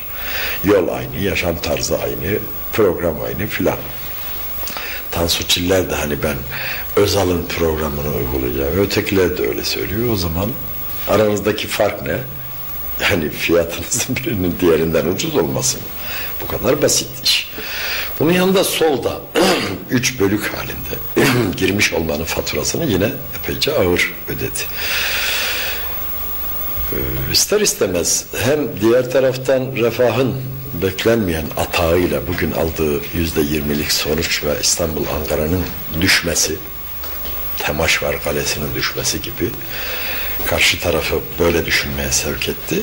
Bir de iki kademeli seçimde de biliyorsunuz seçim seyircilerimiz arasından bu sistemi biraz e, üstünde durmak gerekirse birinci turda işte seçim çevresinde şu nispette oy alanlar ve o nispetin üstünde oy alanlar ikinci ve nihai tur için seçime girecekler deniyor. Bu o koyacakları baraj diyelim yüzde onsa şu anda Ecevit'in DSP'si örneğin yüzde sekiz virgül bilmem kaç. O alamayacak, tasfiye olacak. Efendim bilmem Yusuf Bozkurt Özal'ın, Adnan Mende, Aydın Menderes'in, yok bilmem Hasan Celal Güzel'in, hatta Büyük Birlik Partisi Muhsin Yazıcıoğlu yani bütün bu partiler gelecek fırtınada kayıklarının, yelkenlerinin batacağını gördükleri için görecekleri yani şimdiden eğer o kanunlaşırsa ne yapacaklar? Sığınacak liman arayacaklar. Yani bunlar da birbirine yaklaşmaya başlayacak. Diğer partiler birbirlerini rakip aldıkları için kaybettiler. Lakin mesela merkez sağın iki adayı vardı ANAP ve DYP. Millet bir kısmı ona bir kısmı ona verince toplam yüzde 45 civarında olan veya öyle ya 45 biri 25 biri 20 45 yapar. Oy birisi 25 birisi 20 aldı. Toplam oyları bilmem ne kadar olabilecek üç sol parti ayrı ayrı girdiği için toplamı şu kadar halbuki artırabilirdi bile. Ondan da mahrum kaldılar. Yani baraj olarak düşünülen rakamın bile altında kaldı kimileri. Şimdi bu seçimde bir enteresan husus daha var. Refah Partisi rakipsiz girdi. Yani alanında, branşında tabir caizse hani olimpiyatlarda var ya işte güreş var bilmem boks var falan var filan var. Yani birinci, ikinci bilmem ne turları rakipsiz atladı. Yani maç yapmadan finale kaldı Refah Partisi. Ee, oynadığı alan veya oyun cinsi başka milletler oyuncu göndermemiş. Öyle olunca birinci turda maç yapmadan atladı. ikinci derken altın madalya kondu. Yani rakipsiz girdi. Diğerlerini rakip saymak mümkün değil. Yani bu bu cinsten değil. Çünkü halkın vehmi ondan umduğu şeyler başka diğer partiler başka tarakta bez bulunduruyor düşüncesiyle refah rakipsiz. Belki Büyük Birlik Partisi'ni biraz biraz ona rakip gibi saymak, görmek mümkünse de o daha dün doğan bir çocuk olduğu, bu işte kitlesi, örgütlenmesi, 25 yıllık mazisi, parası, pulu, Almanya'daki eli kolu yok bilmem nesi dolayısıyla kendisi üzerinde daha fazla ümit beslenen bir parti olduğu için rakipsiz girdis denebilir buna. Şimdi önümüzdeki seçimler için partiler bugünlerde konuştukları tedbirlerin bir kısmını değil hepsini alarak en geç 96'nın Ekim'inde de olsa yapılacak olan zorunlu olarak 5 senede olacağı için yapılacak olan seçimlere öyle girmek istiyorlar. Kaldı ki ben seçimlerin mutlaka erkene alınacağı inancını taşıyorum. O da işin ayrı bir yanı. Böyle olunca diğerleri bu tedbirleri alacaklar. Şimdi bunu Onların bu tedbirleri Refah Partisi ve ona yakın görülen diğer partiler tarafından fevkalade yüksek düzeyde değerlendirilecek. İşte bakın millet. Sizin seçtiğinizi iktidara getirmemek için ya da iktidarı onun elinden almak için ne oyunlara başvuruyorlar? Eski kanun kendi menfaatlerine göründüğü zaman kanundu. Fakat şimdi baktılar kabak başlarına düştü, kabak başlarında patladı. Onun için başka yollar arıyor. Ne yapıyor? Çift kademeli seçim koyuyor. Ne yapıyor? Bilmem işte partiler ittifak ediyor filan. Bu propaganda ister istemez refah tandansındaki Büyük Birlik Partisi gibi işte Aydın Menderes'in partisi gibi nedir o? Demokrasi Parti, Demokrat Parti efendim. İşte e, diğer küçük, ufak, tefek zaten fazla da kıymeti harbiyesi olmayan Yusuf Bozkurt'un partisi işte şu anda 3-5 kişisi var mecliste ama oy olarak nesi var? Hiçbir şey de yok. Bunları da birleşmeye sevk edecek. Ve ellerindeki koz çok güçlü olduğu için yani bakın biz geçiyoruz onları onlar bizim kendileri geçmemizi önlemek için çelme takıyorlar. Bakın bu oyunlara başvuruyorlar. Hadi millet bugüne kadar gösterdiğiniz gayretin iki katını yani gene bizim geçtiğimizi onlara bir gösterelim. Bu onlara büyük bir performans verecek. Ve dolayısıyla bu söylediğimiz ittifaklar, birleşmeler olsa, çift kademeli seçim de olsa bile alt tabanın sıkıştırmasıyla bu küçük partiler refahta birleşecek öyle ya. Yani hissenin en büyüğünün olduğu yere gidecek. Şimdi Muhsin Yazıcıoğlu'nun liderliğini kabul edecek değil ya. Erbakan'ın partisi kaçınılmaz olarak görünen şey bu. Hem bu birlikten yarar şey alacaklar yani kuvvet alacaklar hem de düşmanın oyunlarına karşı işte canhıraş gayretlerle yani nasıl çamura batan arabayı çıkarmak için at hani işte coşturulur. Ha aslanım şah bilmem ne filan haydi de filan denir. Ata, at da bütün damarlarını sinirlerini yani bütün gücünü kullanır.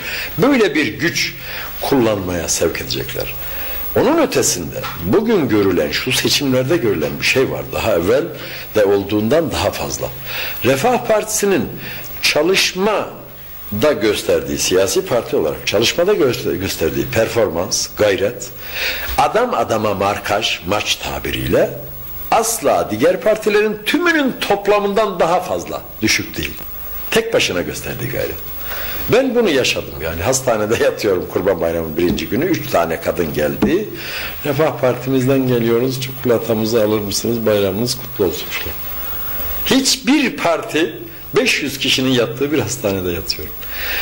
Ta sabah 8'de gelenler ayrılırken saate baktım. Hastanenin bahçe kapısından çıkarken öğleden buçuk beşe geliyordu. Yani akşama kadar ziyaret etmedik. Hani belki yoğun bakımdaki hastalarla konuşamadılar çünkü sokmazlar. Onun dışında ziyaret etmedik. Oyunu istemedik. Çünkü başka hastalarla konuştum. Benden isteyemediler çünkü tanıdılar beni. Ama e, oyunu istemedik hasta bırakmamışlar. Kaydını yapmadık hasta bırakmayacak neredeyse. Bu çalışmanın yüzde birini diğer hiçbir partide göremezsiniz. Bırakın onu bugün kendileri açık bir şekilde söylüyor. San, Manukyan bile ne diyor şu meşhur Manukyan var ya Matild Manukyan. Şu vergi verdiği için kazancı kutsallaşan Manukyan. Nereden kazanıyor tabii herkes biliyor. Bizim adım ağzımıza almamıza lüzum yok. Seçimlerden sonra diyor sandıkları dolaştım. Gördüm ki yalnız Refah Partisi'nin adamları vardı. Öteki partilerin adamları yoktu. Çalışsan kazanır diyor. Şimdi o dedi diye bu doğru eğri mi yani? Doğru mu? Gerçekten çalışma açısından diğer partilerin tümünün çalışmasını topla küçüktür RHP'nin çalışmasından var ya matematikte küçük işaret. Evet. Bu bu gibi söylediğimiz şu iki unsur yani partilerin o merkez sağda ve merkez soldaki partilerin ittifakı artı seçim sisteminin iki kademeliye alınmasından sonra artık yedeğe hiçbir şey bırakmadan cereyan edecek. Bir de aşağı tabaka birbirini zorlayarak yani Büyük Birlik Partisi öte beri bilmem ne kalmayacak. Birbiriyle şakır şakır şakır güçlenen mıknatısın en yakınındaki şeyleri çektiği gibi önce çektiği gibi çekecek. Kim çekecek? En güçlüsü çekecek. Yani normalde o zaten refah çekecek. Öbür türlü zaten yok olurlar. Yani yüzde on baraj koyarlarsa ne olur? Hepsi havasını alır. Hava alana kadar biraz burada civa alalım.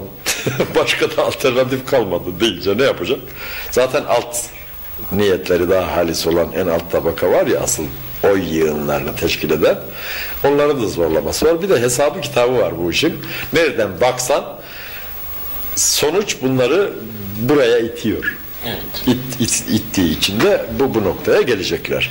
Ve inanıyorum ki refahın yükselişini yani tırmanışını önleyemeyecekler. İnanın böyle şeyler olsun yarın olacak Allah ömür verirse göreceğiz.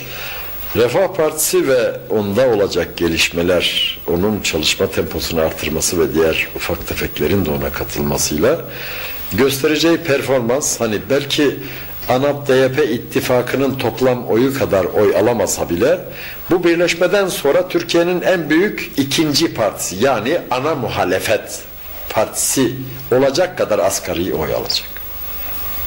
Tabi sürpriz yaparsa meşhur deyimiyle o da beklenebilir. Nitekim hiç kimse Ankara'da ve İstanbul'da hele Ankara'da asla ve kat'a ihtimal vermiyorken sürpriz yaparak o güne kadar hiç yarış kazanmamış. Yani Ankara'da Ankara Mustafa Kemal'in şehri. Ankara Mustafa Kemal'in adamlarının çoluk çocuğunun yaşadığı ondan buradan eline geçen gayrimenkuller üstüne dikilen binaların rantlarıyla geçindiği, kumarlarda ütüle ütüle bitiremedikleri rantların içine boğulu insanların mekanı.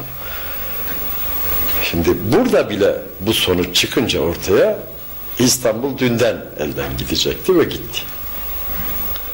Yani başka yerlerde de gösterilen şey mi? Ayrıca MHP'nin burada gösterdiği performansa gelince yani MHP de birleşir mi bunlarla?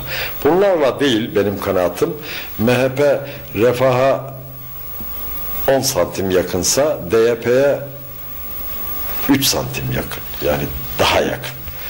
DYP ile zaten şu ana kadar da iki buçuk senedir e, koalisyonun adı anılmayan ortağı olarak alt kademelerde şube müdürlükleri, genel müdürlükler, öteler, beriler olarak ne kadar MHP'li varsa görev için. Yani hükümetin adı anılmayan ortağı. Bakanı yok ama bakandan aşağı her bir şeyi var. Ve her zaman dikkat ederseniz Alparslan MHP lideri olarak DYP politikası paralelinde hareket ettiğini, beyanda bulunduğunu görüyoruz. Zaten bu seçimlerde sıçrayış yapmasında DYP'ye oy vermeyeceğini pek DYP'nin Güneydoğu'da oy alamayacağını da bildikleri için, düşündükleri için ya refah alacak ya işte geçersiz çıkacak filan. Ne yapmalı? Yine bizim paralelimizde üstelik de Türk milliyetçiliğiyle tanınan bir partinin orada aldığı oylar artarsa bunu kamuoyuna ve dış dünyaya nasıl sunarız biz? İşte bakın Kürtler bile Kürt milliyetçiliği istemiyor. Türk milliyetçisi olan bir partiye şu kadar oy vermek suretiyle onlar da hani kart kurttan Kürt demiş yoksa aslında Türkmüş filan masalı var ya evet. onun sonucu böyle arz ederek hem dışarıyı biraz susturacaklar Kürt hakları falan filan konusunda hem de içeride tabi o, o oyu verenleri de şey ne yaptılar bunun için benim kanaatim o ki Güneydoğu'da şu anda çok yoğun olan olarak bulunan asker, subay, polis, öte, beri hani kim oy kullanıyor devlet memurları aşağı yukarı komple denecek derecede MHP'ye oy verdi. Zaten MIT'in işte özel harp dairesinin bir yarı resmi veya gayri resmi yani kuruluşu sayılır MHP. Öyle olunca böyle yapması da rejime hizmettir. Dolayısıyla hiçbir mahsuru yoktur. Bunun da anlamını yani MHP'nin bu boyutta Türkiye bazını geçelim. Ayrıca yani Kürdistan'dan bir oy alamaması, hani ben Kürdistan deyimini benimsediğinden kullanmıyorum. Konu bu deyimi kullanmamı gerektirdiği için kullandım. Bir oy alamaması gerektiği yerden bile bu kadar belediye başkanı bilmem filan filan çıkarıyorsa sonuç bu şekilde lanse edilecek. O zaman demek ki yani Kürtler Kürdistan istemiyor tezi var ya bunların. Gerçekten de benim inancım da o. Yani halk, Kürt halkının Kürdistan bilmem ayrı bir devlet filan gibi bir arzusu filan yok. Nasıl Osmanlı toplumunun Türkiye devleti yok, Suriye devleti yok, Arap devleti, Arnavut devleti diye bir sorunu yoktu ama bir kaşık suda fırtına koparan yönetici kadro, batı kültürüyle tıka basa dolmuş ittihatçılar bir kaşık suda fırtına koparıyorlardı. De, denizlerin altı üstüne gelmiş gibi gösteriyorlar diye. Durum ondan ibaret. Yani PKK'nın veya Batı kültürüyle tıka basa dolmuş kendilerine göre Kürt aydını denilen kimselerin, diyen kimselerin estirdiği hava aşağıda Hason'un, Memo'nun emin ol eğer Kalaşnikov dayanmazsa hiç etkilenmediği, hapşırmadığı bile bir, bir şey, bir gerçek. Fakat bir tarafta apocu geliyor Kalaşnikov'la işte hadi bizi doyur şunu ver bunu ver yatak ver yorgan ver şu kadar para ver oğlunun birini ver diyor. Öbür tarafta vay siz PKK'ya yardım ediyorsunuz diye jandarma M3'ünü altısını doğrultuyor. İki ateş arasında kalan zavallı insan şasesi eğiliyor yani ne yapacağını ne edeceğini bilemiyor. Gerçek de bu. Fakat gerçek onların da yani Kürt milliyetçisi olmadığı gibi Türk milliyetçisi de olmadığını yani Müslüman olmak istediklerini bilmeseler bile gösteriyor. Fakat e, rejim ve imkan elinde olanlar kendi söylemlerine sahip çıktığı imajını vermek için her türlü oyunu oynuyorlar maalesef. Bunlara kanmamakta görünenle yüzeysel olarak değil daha böyle derin bakarak olayın ötesini, içini ve aydınlanmış bir şekilde kendisini değerlendirmeye çalışmak insana baktığı, mütalaa ettiği meselenin gerçeğini gösterir. Bu arada benim belki konuşmamın başından beri diğer partilerden bir söz ediyorsam Refah Partilerinden partisinden belki 11 sözün gelişi söz ettiğim sayın izleyicilerimizin dikkatini çekmiş olabilir. Neden gerçekten ben bu işlerle şunca yıldır meşgul olan, yaklaşan yıldır meşgul olan bir insan olarak hem de Müslüman olarak meşgul olan yani İslamcılığından başka neredeyse bir vasfım yok. Yani adım anıldı mı Müslümanlığım akla geliyor. Müslümanlık anıldı mı da neredeyse benim adım akla geliyor. Kur'an Müslümanlığı. Buna rağmen neden İslam imajıyla halkın gözünde adı anılan öyle bilinen bir partiye niye basit tabiriyle söyleyeyim kimileri söylemeden ben söyleyeyim böyle değil gerçekte niye takıyorum? Bu takma değil veya takma sayanlara da söylemek istiyorum ki şunun için takıyorum efendim, şunun için üstünde duruyorum. Çok basit bir misalle örneklendirirsem anlaşılmayı hem esprilendirerek anlaşılmasını kolay hale getiririm hem de dinleyicilerimiz espriyi kavrarlarsa ki kavrayacaklarından eminim seyircilerimiz ne demek istediğimi daha iyi anlarlar. Bir kaliteli buzdolabı üreticisi bir firma düşününüz. Bu firma ne üretiyor? İşte buzdolabı üretiyor. Soba üretmiyor, mangal üretmiyor, bilmem buzdolabı üretiyor veya çamaşır makinesi üretiyor. Üretmiyor. Ha. Şimdi bu firmanın rakibi, yani bu firmaya en çok kim zarar verebilir? Çamaşır makinesi üreten zarar veremez. Çünkü çamaşır makinesinin karşıladığı ihtiyaç ayrı, buzdolabının karşıladığı ihtiyaç ayrı. Buzdolabı almaya giden bir adama efendim buzdolabımız yok ya sana çamaşır makinesi verelim deseler adam deli misiniz ya vallahi Allah ben çamaşır buzdolabı almaya geldim der çıkar dükkandan. Ona ihtiyacım yok. Şimdi kimdir peki buzdolabı kaliteli buzdolabı üreten firmanın rakibi? Kalitesi düşük fakat kaliteliye en çok benzetilmiş ya da benzer gösterilen yine buzdolabı imal eden fiyatı da düşük buzdolabı imal eden bir diğer firmadır. Yani soba buzdolabının alternatifi değil, çamaşır makinesi de değil. Buzdolabının alternatifi yine bir buzdolabıdır. Çamaşır makinesininki çamaşır makinesi olur, değil mi? Bunlar birbirine rakip olur. Yoksa biri diğerine rakip olmaz. Boksör güreşçinin rakibi olmaz. Yani boksör boksörün rakibi olur, güreşçi güreşçinin. Onun gibi.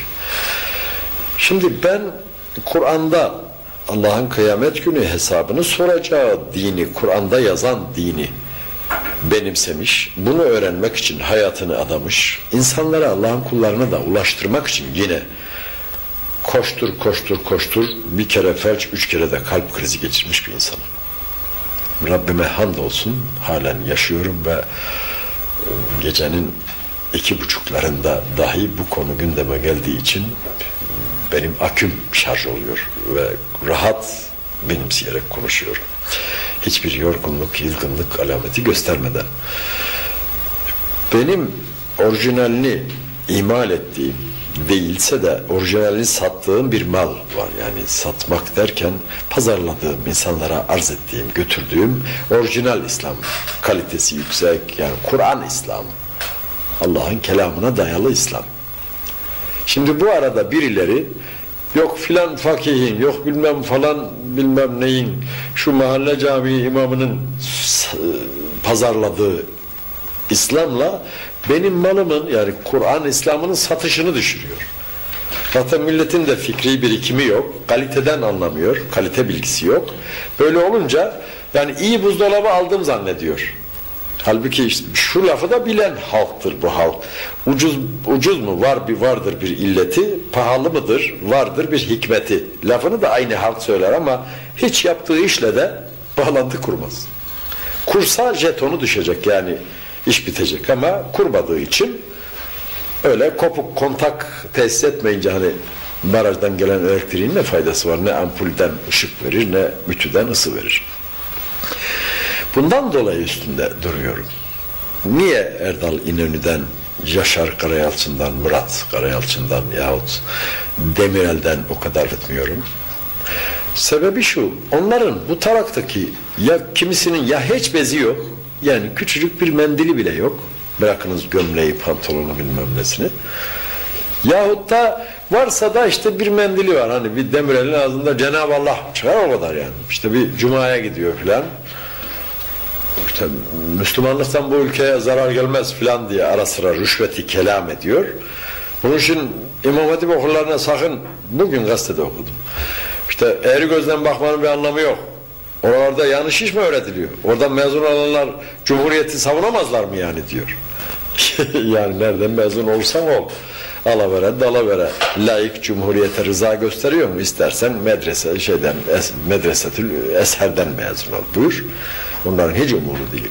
İster harp okulundan mezun ol, ister filan. Ama hukuktan da mezun olsan, hukukta da, mühendislikte de okusan, Kur'an'da dile getirilen İslamsa eğer senin gündemindeki, repertuarındaki ha işte o zaman keçileri seçiyorlar ve dikiliyorlar. Yani bir meşhur tabiriyle ben sık sık kullanıyorum. Amerika'nın razı olduğu İslam var.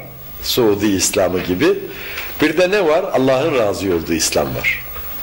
Bugün CHP'nin genel sekreterliği ve İstanbul ana şey ana kent belediye başkan adaylığı e, yapan Ertuğrul Günay'ın da söylediği gibi Mülkiyeller Birliği'nde yapılan bir 141, e, 142 ve 163. maddelerle ilgili yapılan bir açık oturumda veya panelde birisi solcu hepsi konuşanların birisi diyor işte 12 Eylül rejimi şeriatçılığı palazlandırdı bilmem filan onlar böyle şeriatçı böyle şeriatçı yani Kenan Evren ve arkadaşlar şeriatçıymış onlar şeriatçıysa biz neciysek ben o zaman neci olduğumu ben bulamıyorum doğrusu işin espri tarafı. Efendim bu Ertuğrul Günay zeki birisi yani işin farkında anlaşılan bu konuşmasına göre adamı tanımıyorum ama diyor ki kalkıyor söz alıyor arkadaşlar diyor benden evvel konuşmasını dinlediğiniz konuşmacının diyor şu sözlerine ben kesinlikle katılmıyorum. Yani 12 Eylül rejimi şeriatçılığı Türkiye'de palazlandırdı. Asla diyor böyle değil bu işin gerçeği. Evet bir şeyleri palazlandırdı ama dikkatinizi çekelim diyor. Karıştırıyorsunuz. Amerika'nın razı olduğu rejime kul olan Müslümanları palazlandırdı. Allah'a kul olmaktan başka bir şey düşünmeyen Müslümanların ise elini yakasına daha sıkı sardı ve çekiyor da çekiyor. İkisini birbirine karıştırmayın dedi adam. Mülkiyeller Birliği dergisinde yayınlanan bizim de bilahare iktibas dergisine iktibas ettiğimiz, alıntıladığımız yazısında. Burada anlatmak istediğim yani Erdal İnönü'nün nesini benim branşımın dışında yani benim ben buzdolabı imal ediyorum efendim o soba imal ediyor veya mangal yapıyor. Buyur. Onu nasıl rakip alırım ki ben? Yani ondan ne diye bahsedeyim? Hiç de lüzum görmem, görmüyorum.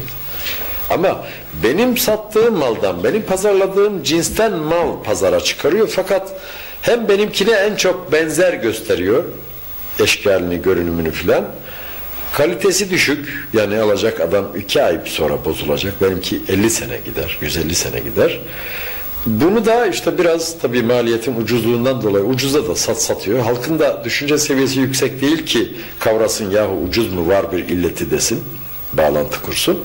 Dolayısıyla bana en çok zarar veren yani bendeki mala, Kur'an İslam'ına en çok zarar veren o olmadığı halde kendine o süsü verendir. O açıdan ben dönüyor, dolaşıyor, geliyor, sekiyor, uçuyor, geliyor ve refaha vuruyor. Sebebi Kur'an'daki İslam'ın gelişmesi, anlaşılması, derinleşmesi ve ülke insanı tarafından benimsenmesinin önündeki en büyük engelli teşkil etmesinden kaynaklanıyor. Gerçekten de öyle. SHP İslam'ın önündeki engel değil. Zaten ne hale gelmiş ki laiklik, demokrasi türmüş de ağlayanı yok. Gerçekten ölmüş ağlayanı yok. Atatürkçülük. Yani birileri bir şey söylemedikçe kimsenin Anıtkabir'e gitmeye aklından geçirmiyor. Artık bitmiş. Adını bile ağzına alan yok. İşte Hasan Mezarcı bir şey dedi diye vay hemen çelen koymalar yani tecdidi imanlarına vesile kılıyorlar bitmiş bir dinin ara sıra kelime-i tevhidini getirsen ne yazar? Yani hayatından soyutlamış atmışın. İşte bir şaşkınlığa uğrayınca eşhedü en la ilahe illallah yani hayatı boyunca barda pavyonda geziyor ama bir gök gürültünü şimşek düştüğünü bilen çatık dedi mi hemen eşhedü en la başlıyor onlara benziyor Atatürkçülerin durumu Türkiye'de. Yani kendiliğinden artık kelime-i tevhide uygun da yaşamadığı için yani onu getireyim, kelime-i şehadet getireyim hiç akıllarına bile düşmüyor. Bitmiş, ölmüş ağlayanı yok dediğim gibi. Evet. Evet şimdi doğuda e, Hizbullah'ın Refah Partisi'ni desteklediği e, söyleniyor. İkinci bir olayda e, Refah Partisi'nin bu seçimden önceki seçimlerde de e, belediye başkanlığını aldığı iller, ilçeler e, ve beldeler vardı. Orada bunları koruduğu gibi bunun üzerine bir de yenileri geldi biliyorsunuz. Şimdi Türkiye'de veya dünyanın çeşitli yerlerinde Müslümanlara işte sahtekar, yobaz, çağ dışı, gerici ya, e, isimleri verilirken acaba diyorum Refah Partisi'nin e, aracılığıyla veya o insanların çalışmalarıyla Müslümanların e, böyle olmadıkları e, onlara yansıtılabilir mi? Ben Refah Partisi'ni, ondaki zihniyeti, onun 25 senedir hiçbir değişikliği ne şahıslarında, isimlerinde ne de muhtevalarında görmediğim ve 25 çeyrek asırdır sürüp gelen anlayışlarıyla yakinen tanıdığım insanlar olarak gerçekten gerici görüyorum. Kur'an hakikaten ilerici bir dinin kitabı. İlerici derken şu batıya hayranlığın sonucu falan değil. Batı umurumda değil. Bir sivrisineğin kanadı kadar benim gözümde değeri yok. Hiçbir değeri yok ki. Hiç. Bir bilmem neyin gübresi olur, bari gübresinin faydası olur. Batının hiçbir ortaya koyduğu şeyin gübre kadar bile gözümde değeri yok. Gübre işe yarar, batının hiçbir şeyi işe yaramaz.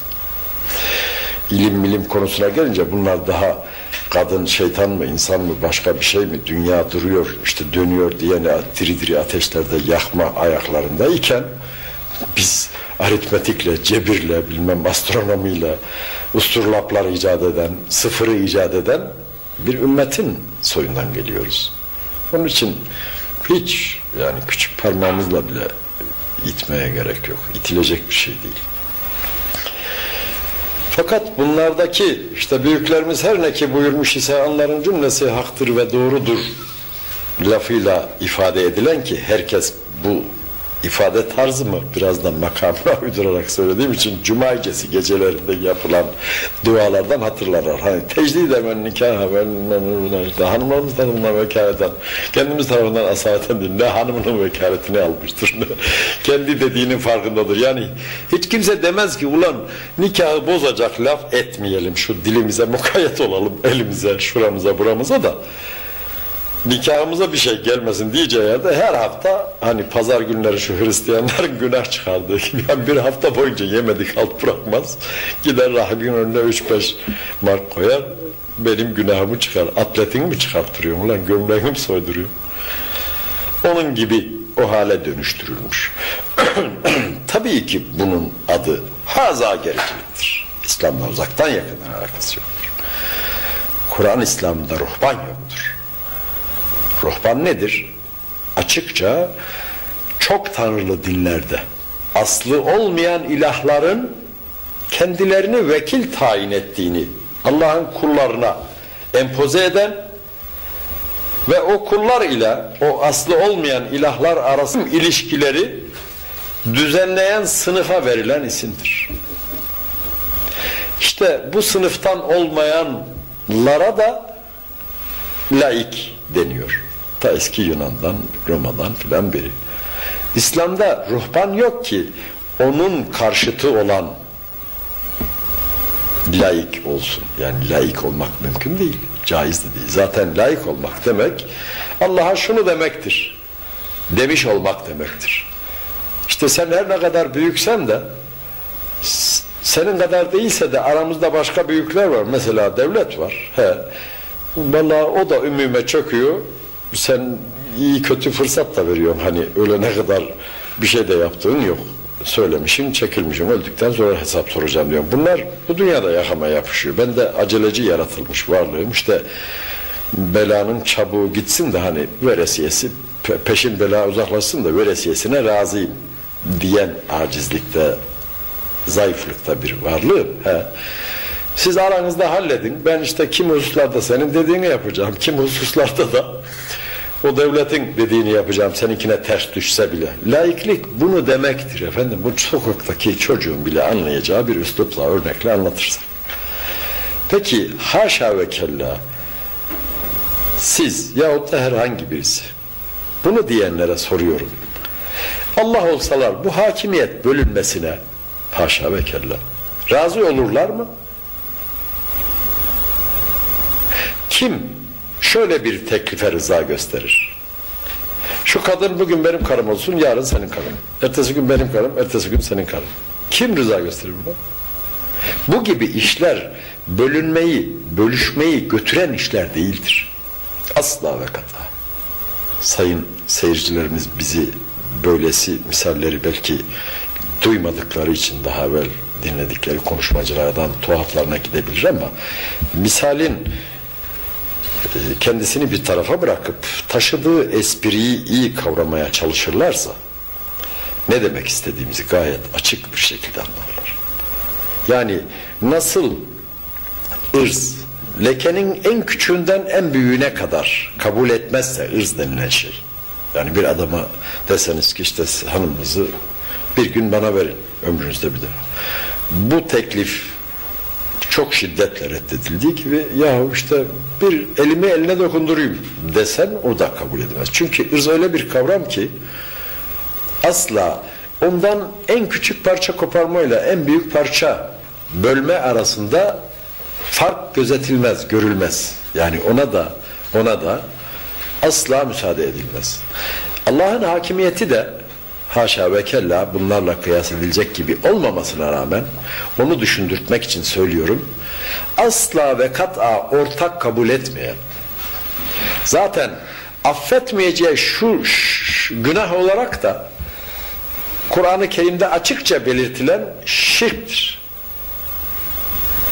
Yani bir ırz için ona dokunmaktan bilmem saçını okşamaya kadar ne anlam ifade ediyor ve asla kabul görmüyor koca veya karı tarafından namuslu insanlar tarafından Allah için de hiç hoş görülmeyecek hiç affı mümkün olmayan bir şey olarak Kur'an'da şirk koşulması onun özelliklerinden herhangi birisinin de olsa onun dışında herhangi bir kişi veya kişilerde varlıklarda görülmesine şirk denir. Buna asla müsaade etmiyor. Ve bunu affetmiyor. Onun dışında bakın neleri affetmiyor. Tevbe eder İslam'a girerse yani şirkten vazgeçerse tamam beyaz bir kitap beyaz bir sayfa açılmış oluyor. Ama ondan sonra tekrar dönenlerden olursa beyaz sayfasını da karalayanlardan oluyor. işini bitiriyor kendini.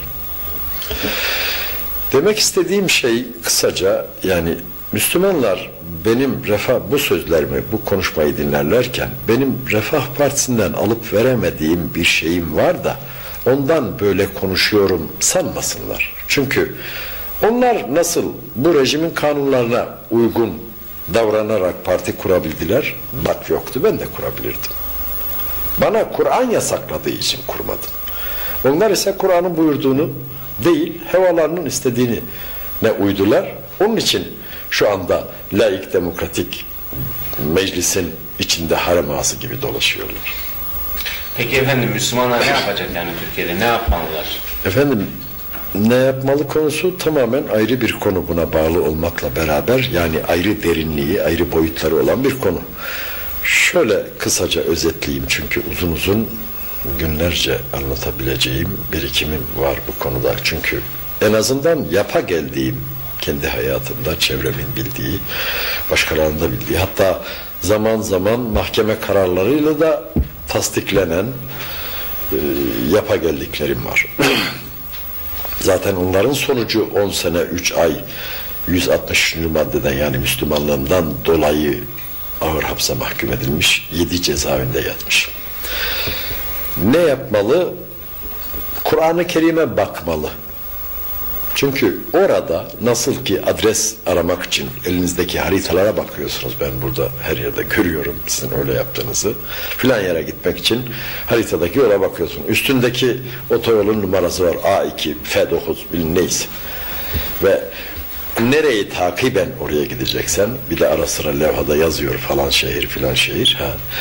İşte oraya gidebilmek için nasıl haritadaki numaraların bir de yolların üstünde yazılısına bakıyorsun. Bir de şehir isimlerine bakıyorsun. Öylece oraya varabiliyorsan Müslüman da Allah rızasına dayalı işlere varabilmek, onları yapabilmek için. Nihai olarak yani Müslümanın gayesi Allah Allah'a razı etmektir. Ne namaz kılmaktır, ne e, devlet kurmaktır filan. Zaten bunlar Allah'ı razı edici ameller olarak bunlar Allah'ın razı olacağı ameller olarak Kur'an'da belirtilen şeylerdir. Bu itibarla orada diyor ki yani Kur'an-ı Kerim'de diyor ki buyuruyor ki Allah bir toplum yani bir kavim Nefislerindekileri değiştirmedikçe Allah o kavmin halini, o toplumun halini asla değiştirmez. Değiştirmez. Bu mutlak bir ifade. Allah'ın koyduğu bir kural bu. Bunda da değişiklik yok. Başka bir ayet dediği gibi. Onun sünnetinde yani adet edindiği şeylerde değişiklik göremezsin diyor. Bu ne demektir kısaca? Müslümanım diyen kimseler gerek öyle bir ana babadan da olduğu için yahut sonradan gördüğü olduğu için ne şekilde olursa olsun Müslümanım diyen insan ne demiş oluyor? Ben vahye teslim oldum diyor. E peki teslim oldum dediği şeyden habersizse neye teslim olduğunu bilmiyorsa nasıl teslim olur bu adam? Neye teslim olmuş olur? Sanısına, zannına teslim olmuş olur. Bu noktada bilmesi gereken şu ki insanların ahirette hesaba çekileceklerine inanıyorlarsa ki inanmayan Müslüman olması mümkün değil. Kalması da mümkün değil. O takdirde o kitaptan derslerine çalışacaklar. Yani Kur'an'dan. Peygamberimiz de o kitabı ders, ders kitabı olarak okumuş. Ondan imtihana girecek. Yani onu anlamış. Hem kendi hayatını hem de toplumun hayatına uyarlamış. Bu bakımdan usvetül hasene güzel örnek olarak bize gösterilmiş. Yine o kitap tarafından. Böyle olunca yapılacak işin ne olduğu meçhul değil. Gayet rahatlıkla Allah'ın kitabına bakarsak böyle söylüyor. Biz namazı sevmiyoruz. Allah namaz kılanı seviyorsa ne yapacağız? Nefsimizdeki bu sevmemeyi, namaza karşı sevmemeyi atıp namaza sevgi duyar hale getireceğiz nefsimizi. Biz içki içmekten hoşlanıyor. Allah hoşlanmıyorsa ki öyle söylüyor. O yalandan hoşlanmıyor, o iftiradan hoşlanmıyor, o zinadan hoşlanmıyor. Ve ilahir faizden, rüşvetten evet. Biz hoşlanıyorsak demek ki nefsimizdekiyle Kur'an'dakiler arasında fark var. Bunu değiştireceğiz. Nasıl? Atacağız bizdeki bu yaramaz. Kur'an bu konuda bizim nasıl faiz konusunda uzak durmamız, zina konusunda uzak durmamız, Ramazan orucunu tutmamız, beş vakit namazı kılmamız, efendim komşu hukukuna riayet etmemiz, kimseyi aldatmamamız ve ilahir çoğaltılabilir. Hepsi Kur'an'da yazılı. Bunları yapmakla nefislerimizdekini Kur'an'dakilerle değiştireceğiz. İşte bu bize düşen, Müslümanım diyenlere düşen iş iken Allah'a düşen iş de bunu yapan, bu gayreti gösteren bu toplumun şikayetçi olduğu hali değiştirmektir. Biz işimize bakalım, biz bize düşeni yapalım, Allah kendine düşeni asla ihmal etmeyen, unutmayan, uzatmayan ve liyakat gösterdiğimiz takdirde hemence halimizi değiştiren, verdiği sözü yerine getirendir. O vadinden hulfetmeyen yani dönmeyendir. Yeter ki biz koştuğu şartı yerine getirelim. Yani biz nefislerimizdekileri değiştirmek, Kur'an'dakilerle değiştirmek işini yapalım. Müslümanın yapacağı iş Türkiye'de de bu, Fas'ta da bu. Afganistan'da da bu, Filipinler'de de bu. Güney Afrika'da da bu, Kuzey Kutbu'nda da bu. Çünkü Müslümanım diyen Kur'an'ı Allah'ın kelamı kabul eden, onun sözlerinden, vahiylerden oluşan kitap kabul eden adam. Hz. Muhammed Aleyhisselatü Vesselam'ı onun kendisine bu kitabı vererek gönderdiği son elçisi olduğunu kabul eden insan demektir. O ahlakını Kur'an'a ahlak edinmek suretiyle edinmiştir. Yani Kur'an hangi hususta nasıl buyuruyorsa yaşayan, yürüyen, onunla oturan, onunla kalkan bir kişilik sahibi olmuştur. İşte bu sebepten dolayı o kendini güzelleştirmiştir. Böylece güzelleştirmiştir. Böylece güzel örnek olmuştur. Bizim de yapacağımız bundan başka bir şey yoktur. Zaten bir ülkede yaşayan halk bunu yaparsa ne askeri darbe ona bir şey yapabilir ne dışarıdan Amerikan bilmem nesi müdahalesi ne içeriden münafıkların yapacağı iş. Çünkü böylesine kendilerini Allah için değiştiren, nefislerindekileri Kur'an'dakilerle değiştiren insanların birinci yardımcısı Allah olur. Bunu yapan iki kişi ise, bir kişi ise ikincisi Allah. Üç, iki kişi ise üçüncüsü Allah. Dört kişi ise beşincisi Allah. Allah sizden yanaysa artık Amerika'nın sizden yana olmasına gerek var mı? Kim güçlü? Allah mı Amerika mı? Amerika diyen onun yanına git. Cehenneme kadar yol. Ama Allah güçlü. O kul kul şeyin kadir. diyen varsa beri gelsin. Nereye? Allahu Teala'nın buyurduğu yer. Bu iş bu kadar açık. Anlaşılmaz değil. Bunları anlamak ya da bunları şurada anlatabilmek için dahi olmaya yok alim, 12 ilim, 22 imam falan filan tanımaya hiç gerek yok. Sağduyuyla, takıntısız, adam gibi hak sözü işittiğinizde kulak veren bir insan olur. Okur, yazar, düşünür, araştırır. Onunla bununla tartışa tartışa yani emeliniz yalnız doğruyu aramak olmak kaydıyla ve bulduğunuz doğruya da teslim olmak kaydıyla hareket ederseniz Allahu Teala elbette hidayet edici olarak gönderdiği Kur'an'ını sizin önünüzde bulundurur. Bulunuyor zaten Müslümanım diyenin.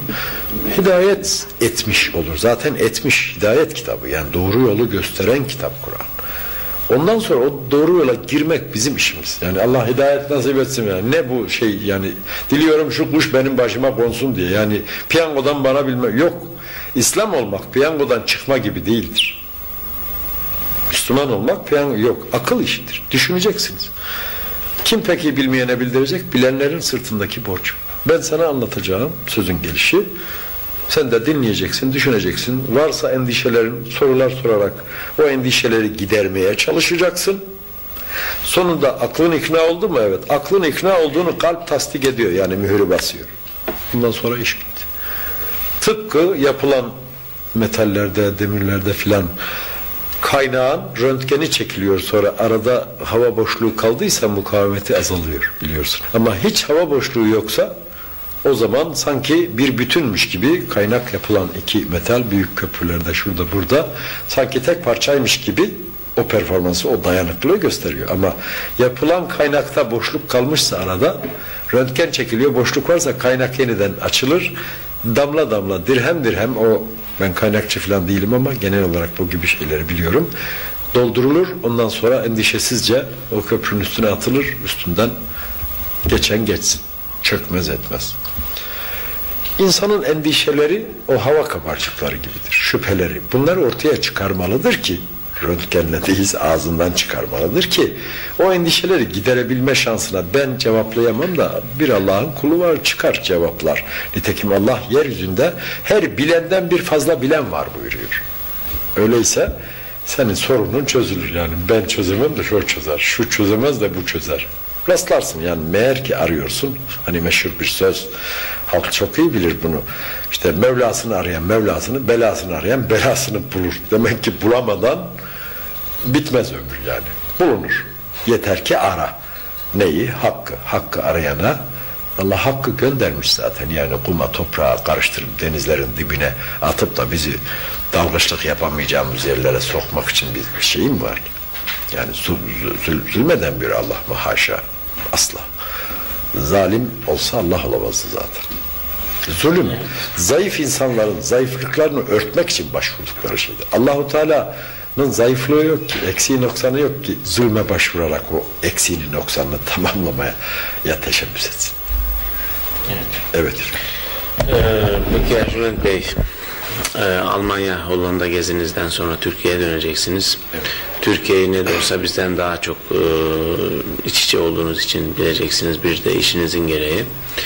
E, bu seçimlerden sonra ANAP'la Doğru Yolun birleşmesinden ana yol veya Doğru Vatan gibi bir birleşmenin e, çıkıp iktidar olacağı beklenirken e, eski koalisyon ortağıyla Doğru Yol Partisi hükümeti devam ettirmeyi düşünüyorlar ve bunun neticesinde de 5 Ocak kararları adı altında kurtarma e, operasyonu gibi gösterilen e, zam şoku, zam e, furyası geldi. Tedbirler e, paketi, tedbirler adını paketi adını verdikleri bu paket geldi. Şimdi bundan sonra Türkiye'de nasıl gelişmeler olabilir? Yani bu olaylarda halkı bu partilerden başka arayışlara özellikle Refah Partisi'ne gönderebilir mi? Bir de netice itibariyle buradaki vatandaşlarımıza tavsiyelerinizi rica edeceğiz. Estağfurullah. Efendim hemen böyle bir şeye başvurulmaması yani işte ana yol veya doğru bilmem vatan türünden buyurduğunuz gibi başvurulmaması e, şu açıdan gerekli görüldü bence.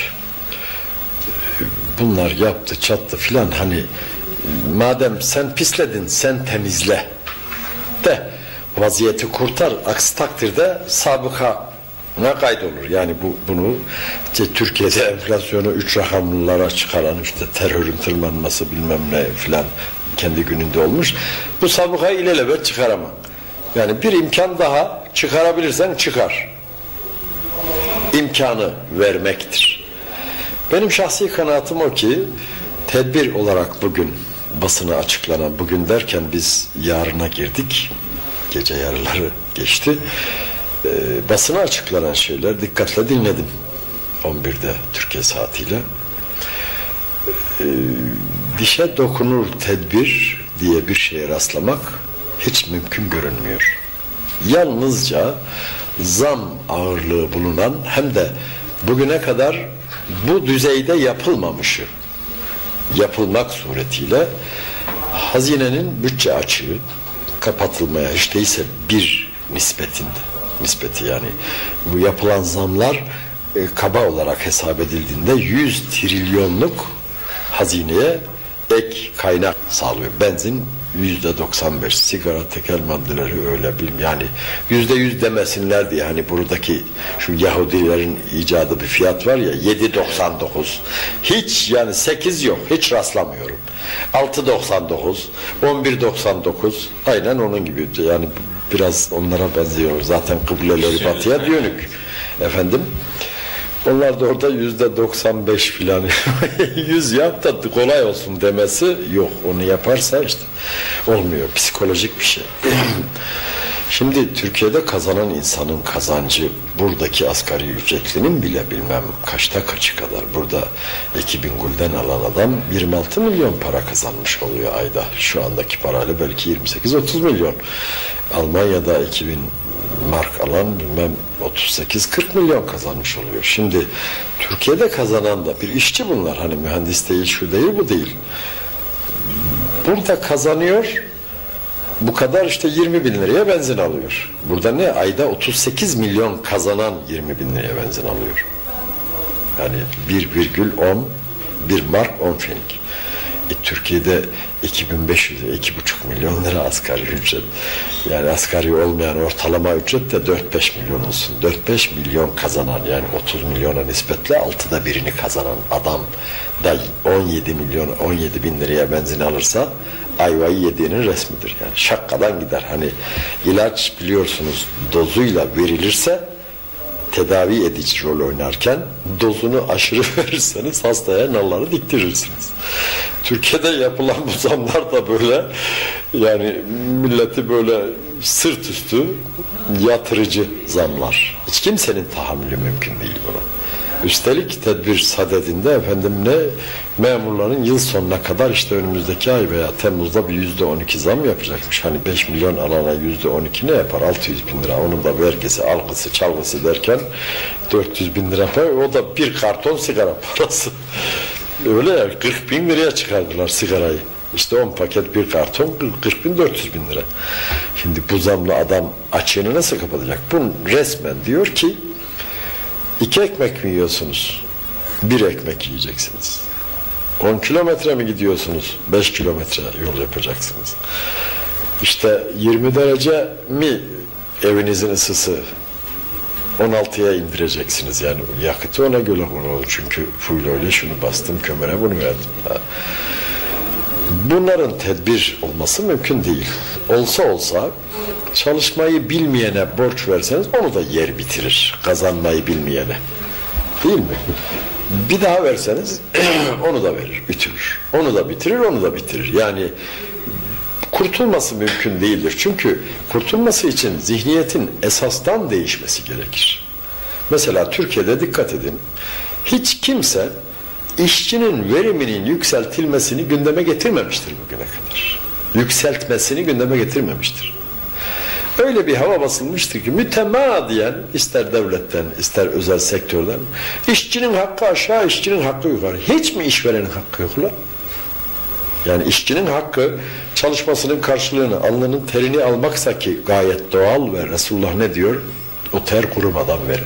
Tamam, başladım. Ama e peki işçi testiyi kırsa da vereyim, doldursa da vereyim anlamı mı çıkar burada? Hiç işçiye bir şey düşmüyor mu? Yani bir ülkede fiyatların istikrar bulması, hatta giderek düşmesi için yapılacak köklü, radikal tedbirler var alınacak. Nedir bunlar? Üretimi artırmaktır.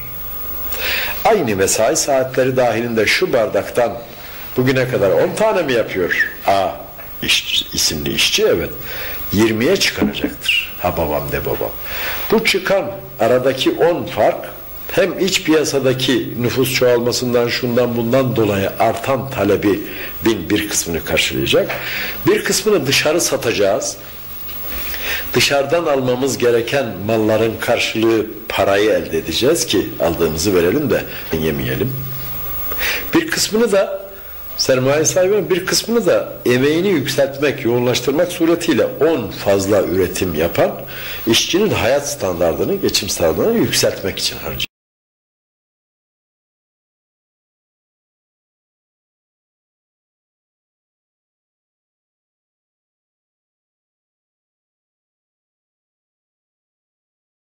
Bir kısmı yatırımlara gene yatıracak. Çünkü arkadan sürüp gelen şeyler var.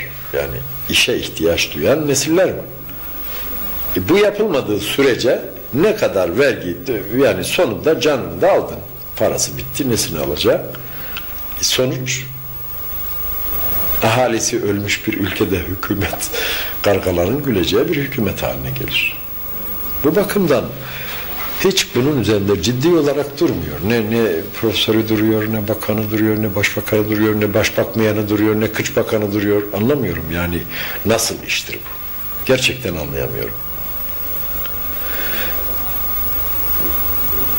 Refah Partisi'nin de bu konuda demin bahsederken söylediğim gibi yani işinin bitmesi iktidar olmasına bağlı. Yoksa bu tırmanışı asla durmayacak, gidecek bir an evvel düşünmek istiyor. Yani ben şahsen işte bir refah partili hatta lideri bin üzerinden bin refaha iktidar mı istiyor? Ben bin artı bir istiyorum refahın bir an evvel iktidar olması. Adil düzenlerin masalın meydana çıkması, kendi kişiliklerinin meydana çıkması ve bu işi hiç kimseden şahsi bir alıp veremediğim yok. Onların da benden yok. Tedbirler paketi olarak sunulan şeyin ne tırmanmasının peşine yetişilemeyen enflasyonu indireceği, ne yine terörü sıfırlayacağı yahut aşağı doğru çekeceği, ne ülke insanının geçimden şikayetini önleyeceği hiçbir yanı bulunmadığı gibi bu şikayetleri artırıcı ağırlığı herkesin dikkatini çekiyor. Örneğin bir sürü kitin kapatılacağından ve bir sürü insanın mesela Zonguldak'taki kömür işletmelerinin bilmem filanın falan, falan yerde işte Ankara'da bira fabrikası yok bilmem filan şey yerin filan. Yani işte e, Petkim'in kapatılmasından bahsediliyor filan. Yani buralarda dünya kadar insan çalışıyor. Tabii kapatılsın mı kapatılmasın mı? Yani bir tedbirleri almadan insan bir dereden geçiyorsa bir adımını işte derenin ortasındaki taşa basar, ayağı orada iyice taş oynuyor mu değil mi sağlam duruyorsa, ondan sonra karada derenin bu tarafındaki ayağını öbür ayağının üstünde durarak derenin öbür tarafına geçer. Eğer bunu yapmıyor, taş oynuyor mu değil mi demeden yapmaya kalkarsa kendini derede bulur ve tepeden tırnağa ıslanır. Bunlar sanki bu örneğe benzer tedbirler getirdiler. Bunun sonu ne olur? Kısaca tahminimi söylüyorum. Zaten kendisi de işte üç ay sonra bu sonucu toplayacağız ne çıkacak bakalım diyor. Yani üç ay daha bana süre verin der gibi. Üç ay değil çok işte sekiz ay verildi. Babasına 500 günden fazla verildi. Şimdi Çankaya'daki babasına. Kızı dersen 8 ayda eline yüzüne bulaştırdı. 3 ay daha istiyor. Öğretmenin bir yarım not daha ver diyen tembel talebe gibi. Bu işlerin erbabı olmadığı rahatlıkla anlaşılan insanlar. Öbür yandan işte 3 ay sonra fazla bir sonuç alamayacaklar. Çünkü iç borç ödemeleri, bütçe açığının bir kısmını olsun kapatmayı hedefleyen e, bu zam paketi diyebileceğimiz tedbirler paketi onlara bir zaman belki yani 3 ay rahatlık verecek. E peki 3 ay sonra yine yüzde 95 oranında zam mı yapacaksınız? Yapmaya kalkarsanız ne olur haliniz? Ülke insanının hali ne olur? Üretimi artırmayı hiç gündeme getiren yok. Dış ticaret açığı fevkalade büyük. İşçi ücretlerindeki yani onların döviz olarak Türkiye'ye akışında büyük düşüş var. Çünkü Türkiye'deki enflasyon insanlara elindeki parayı hele hele döviz ise harcatmama yönünde yönlendiriyor. Çünkü bugün bir markınızı 15 bin lira yapıyor. Bir hafta sonra harcarsanız, bir hafta daha tutarsanız 18 bin lira yapıyor. 15 gün daha tutarsanız 22 bin lira yapacak. Onun için ne yapıyor elinde bir marka olan söz gelişi, bir gulden olan onu piyasadan çekmiş yastık altına koymuş oluyor. Biliyorsunuz piyasa ekonomi açısından para insan vücudundaki kan gibidir. Kan vücudun ağırlık toplam ağırlığının altıda biri kadardır. Eğer bu altıda birin siz beşte birini, üçte birini çekmeye kalkarsanız o vücut sırtı yere gelir, yere düşer. Alabileceğiniz belli miktarı vardır. Daha fazla almaya kalkarsanız öldürürsünüz adamı. Ekonomi de böyle. Yani kan parasıdır onun. Yani para kan kanıdır. Onu çekerseniz çekilirse veya aldığınız tedbirlerin sonucu kan yapan hücreler durursa diyelim bu açıdan o ekonominin sırtı yere gelir. Biter işi biter. Ölür.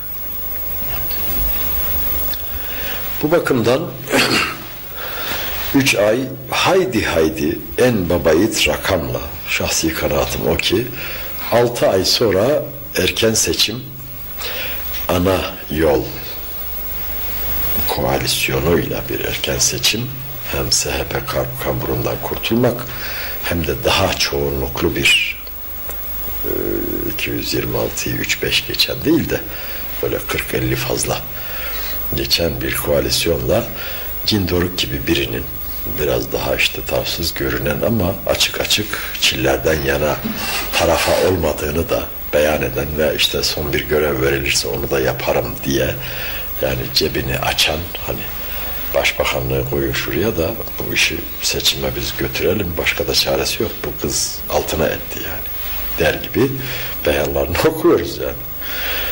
Ee, ondan sonra süratle ya bu yılın sonunda yahut da en fazla önümüzdeki yılın yine 27 Mart'ı veya 23 Mart'ı hangi güne geliyorsa neyse bir erken genel seçimin kaçınılmaz olarak gündeme geleceği kanısındayım. Daha başlangıcında bu röportajımızın bahsettiğim gibi işte ittifaklar solak salak merkez sağda merkez solda yok bilmem İslamcılar diye öyle verdikleri hani ne kadar İslamcı ayrı bir konu. Ee, onlar arasında da yani bir kaynaşma, bir toplaşma, bir dağılma, bir bilmem ne. Ee, 12 Eylül rejimi partilerin küçülmesinden, atomize olmasından siyasi örgütlerin rahatsız e, olmuş ve büyük partilere meydan vermiş idi. İşte büyük partileri de kapattı. İnönü'nün, Ecevit'in CHP'sini, Demirel'in Adalet Partisi'ni, işte bilmem refah filan ya MSP'de kapandı. İşte bir ANAP diğerleri güreşe sokulmadı.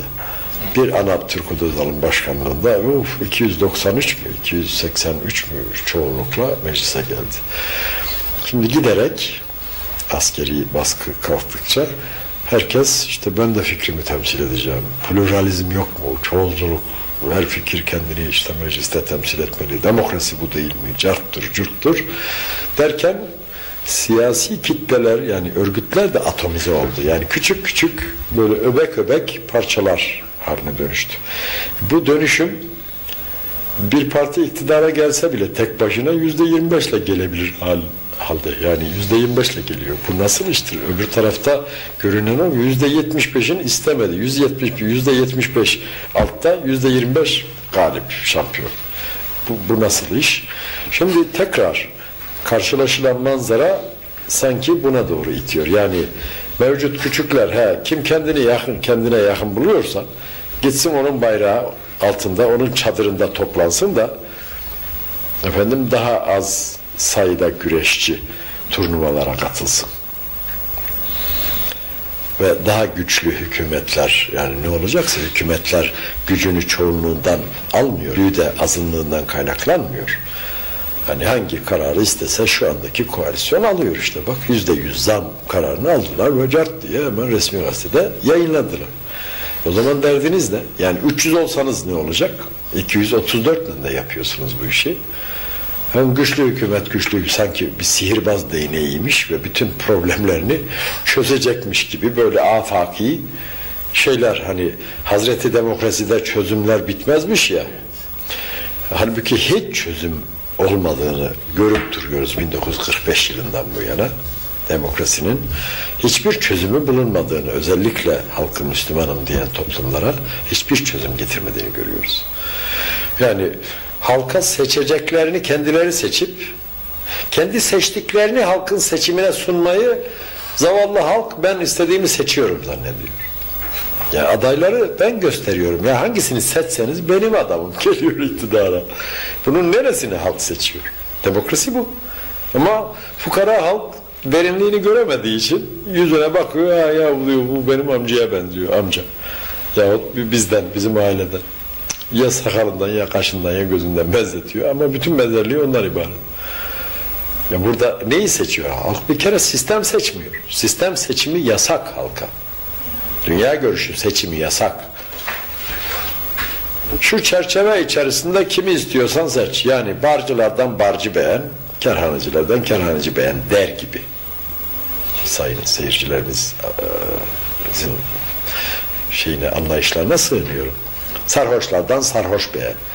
Ya ben sarhoşluğu tümüyle beğenmeyen adamım. Yani bu durumda olması lazım gelen Seçmesi şu şahıs ne diye sarhoşlardan sarhoş beğeni. Ben içkinin zerresine betelik vermeyen, üstüme bir damlası damlası orayı yıkamadan namaz kılmayan bir dünya görüşüne sahipken beni nasıl olur da sen sarhoşlardan sarhoş beğendirirsin bana? Evet. Bu konuda söyleyeceklerim ve tahminlerim, yorumum bu. Yani en geç önümüzdeki sene bu zamanlar Türkiye'yi en geç bir yakın erken genel seçim yani milletvekili seçimi bekliyor. Tabi sonuçları Türkiye'yi kurtarır mı? Hiç sanmıyorum. Hep öyle oldu. Hep efendim kurtuluş seçimde, erken genel seçimde Erbakan'ı, Erbakmayan'ı, Yan Bakan'ı, Karayalçın'ı, Beyaz Yalçın'ı herkes ya o hep seçim olup duruyor işte ya dört senede bir ya şimdiki gibi beş senede bir. E peki ne kurtuluyor? Ne zaman kurtulduk? Kurbanınız olayım yani bir, bir gösterin iyi kötü şu yaşa geldik 57 yaşına ve görüp duruyoruz en azından 50'den beri seçim oluyor işte o iniyor bu biniyor şu biniyor başkası iniyor ama alavere dalavere layık cumhuriyet iktidarda ve elleri hükümetin, devletin gariban vatandaşın yakasında. E bu değişmedikten sonra benim yakam yırtıldıktan sonra Ali yırtmış, Veli yırtmış. Sonuç yırtılan benim yakam. Feleği şaşırtılan benim. Yani asıl olan ne? Benim kurtulmam yani feleği şaşırtılmaktan çıkarılmam. Yakamın yırtılmaktan kurtulmasın. E bu devam ediyor. Yani yırtan değişiyor. Tokatı atan değişiyor ama yiyen ben olduğum için tokatı ben yiyorum. Benim yüzüm acıyor, benim canım acıyor halk olarak. Fakat vay alçak en son tokat atana varıyor. Ondan, ondan sonra ondan kurtulmak için bir evvel tokat atan acısı geçmiş onun ya. Ona sarılıyorum. Yani ölümlerden ölüm beğen der gibi bir şey. Evet bundan başka bir şey görünmüyor bana doğrusu. Peki efendim e, buradaki vatandaşlarımıza tavsiyeleriniz, önerileriniz neler var? Vallahi İslam biliyorsunuz insana gönderilmiş bir din. Eyyühen nas diyor. Kur'an'ın hiçbir yerinde eyyühel Arap, eyyühel etrak, eyyühel ekrat yani ey Kürtler, ey Türkler, ey Araplar hitabı yok. Ayrıca kabul edenler için eyyühel Müslümun, eyyühel mu'minun yani ey Müslümler, Müslümanlar, ey bilmem işte müminler, eyyühel müşrikun şirk koşanlar için e işte ehli kitap onlar da yani adı ehli kitap ama onlar da şirk koşuyor çünkü ayetlerle açıklanıyor. Buradaki Türkiye'deki, Hindistan'daki, Çin'deki fark etmez yani buradaki de aynı şeyle muhatap, oradaki de şuradaki de. Yapacakları şey eğer hallerinin değişmesini istiyorlarsa gerek burada gerek Türkiye'de. Çünkü sonunda kürkçü dükkanı orası dönecek millet hani 3-5 kopuk kalsa bile büyük bir çoğunluğun döneceği kürkçü dükkanı Türkiye. Orada veya burada yani kendini değiştiren, Kur'an'dakilerle değiştiren insan rahat eder. Hani sen iyi misin? Dünya iyi derler ya. Ben iyiyim. Niye iyiyim? Ben bana düşeni yapıyorum. Zaten Allah ben bana bana düşmeyeni de sormayacak ki benden. Öyleyse sen kendine bak yani. Ben ben iyiyim. Şimdi ben iyiyim diyebilmek için iyilik neyse hayır, salihlik Kur'an deyimiyle ona yapışmak lazım. Ama Amsterdam'da ama Ankara'da hiç fark etmez. Çünkü Allah bütün mekanların Allah'ı ve her yerde hazır ve nazır. Öyleyse bu yolu tutmalı.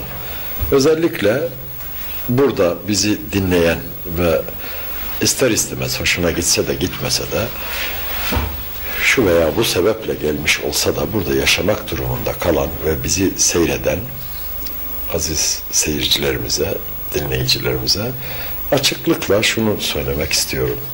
Allah için iyi olmaya çalışsınlar. Öncelikle bu iyilik kendilerine huzur verir. Kendiyle geçinemeyen, kendiyle geçim sağlar. Kendiyle geçinemeyen en yakın çevresi ailesinden, anasından, babasından, hanımından tut, akrabasından, komşusuna kadar başkalarıyla geçinemez, toplumla geçinemez. Derken giderek Allah'a da isyan eder. Allah'la da geçinemez. Bunun için öncelikle kendi huzurları için kendileriyle geçinebilmenin en sağlıklı yolu olan İslam ne diyorsa onu seçsinler, onun dediklerini yapsınlar. Zaten Allah'ın gerek inanmamızı gereken şeyler olarak saydığı esaslar, gerekse kaçınmamızı istediği ya da yapmamızı istediği birincisi haram, ikincisi de farzlar.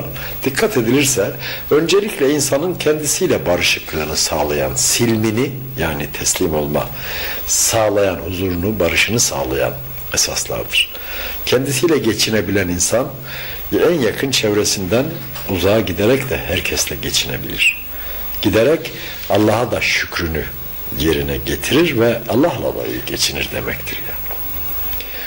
Bunu yapmalarını ve güçlerinin yettiği kadar Kur'an'ın Türkçesini meal diyorlar, tercüme diyor, okumaya çalışmalar. Bir, iki, üç, dört, hemen bir, iki okumada insan alim olmaz. Ne de ben, ben de böyle olmadım, kimse de böyle olmadı. O bakımdan tekrar tekrar Peygamberimiz Aleyhisselatü Vesselam'ın hayatıyla ilgili güzel, sahih bilgileri havi kitaplar var. O kitaplardan mesela Hazreti Muhammed Mustafa isimli kalınca bir kitap var. Haseneyn Heykel diye çoktan vefat etmiş sonraki El ah, e, Ahram gazetesinin başyazarı İpsiz e, Haseneyn Heykel değil. Hüseyin Heykel Paşa. Onun kaleme aldığı ve mesaj filminin senaryosunun kendisinden yapıldığı bir kitap. Kalınca bir kitap.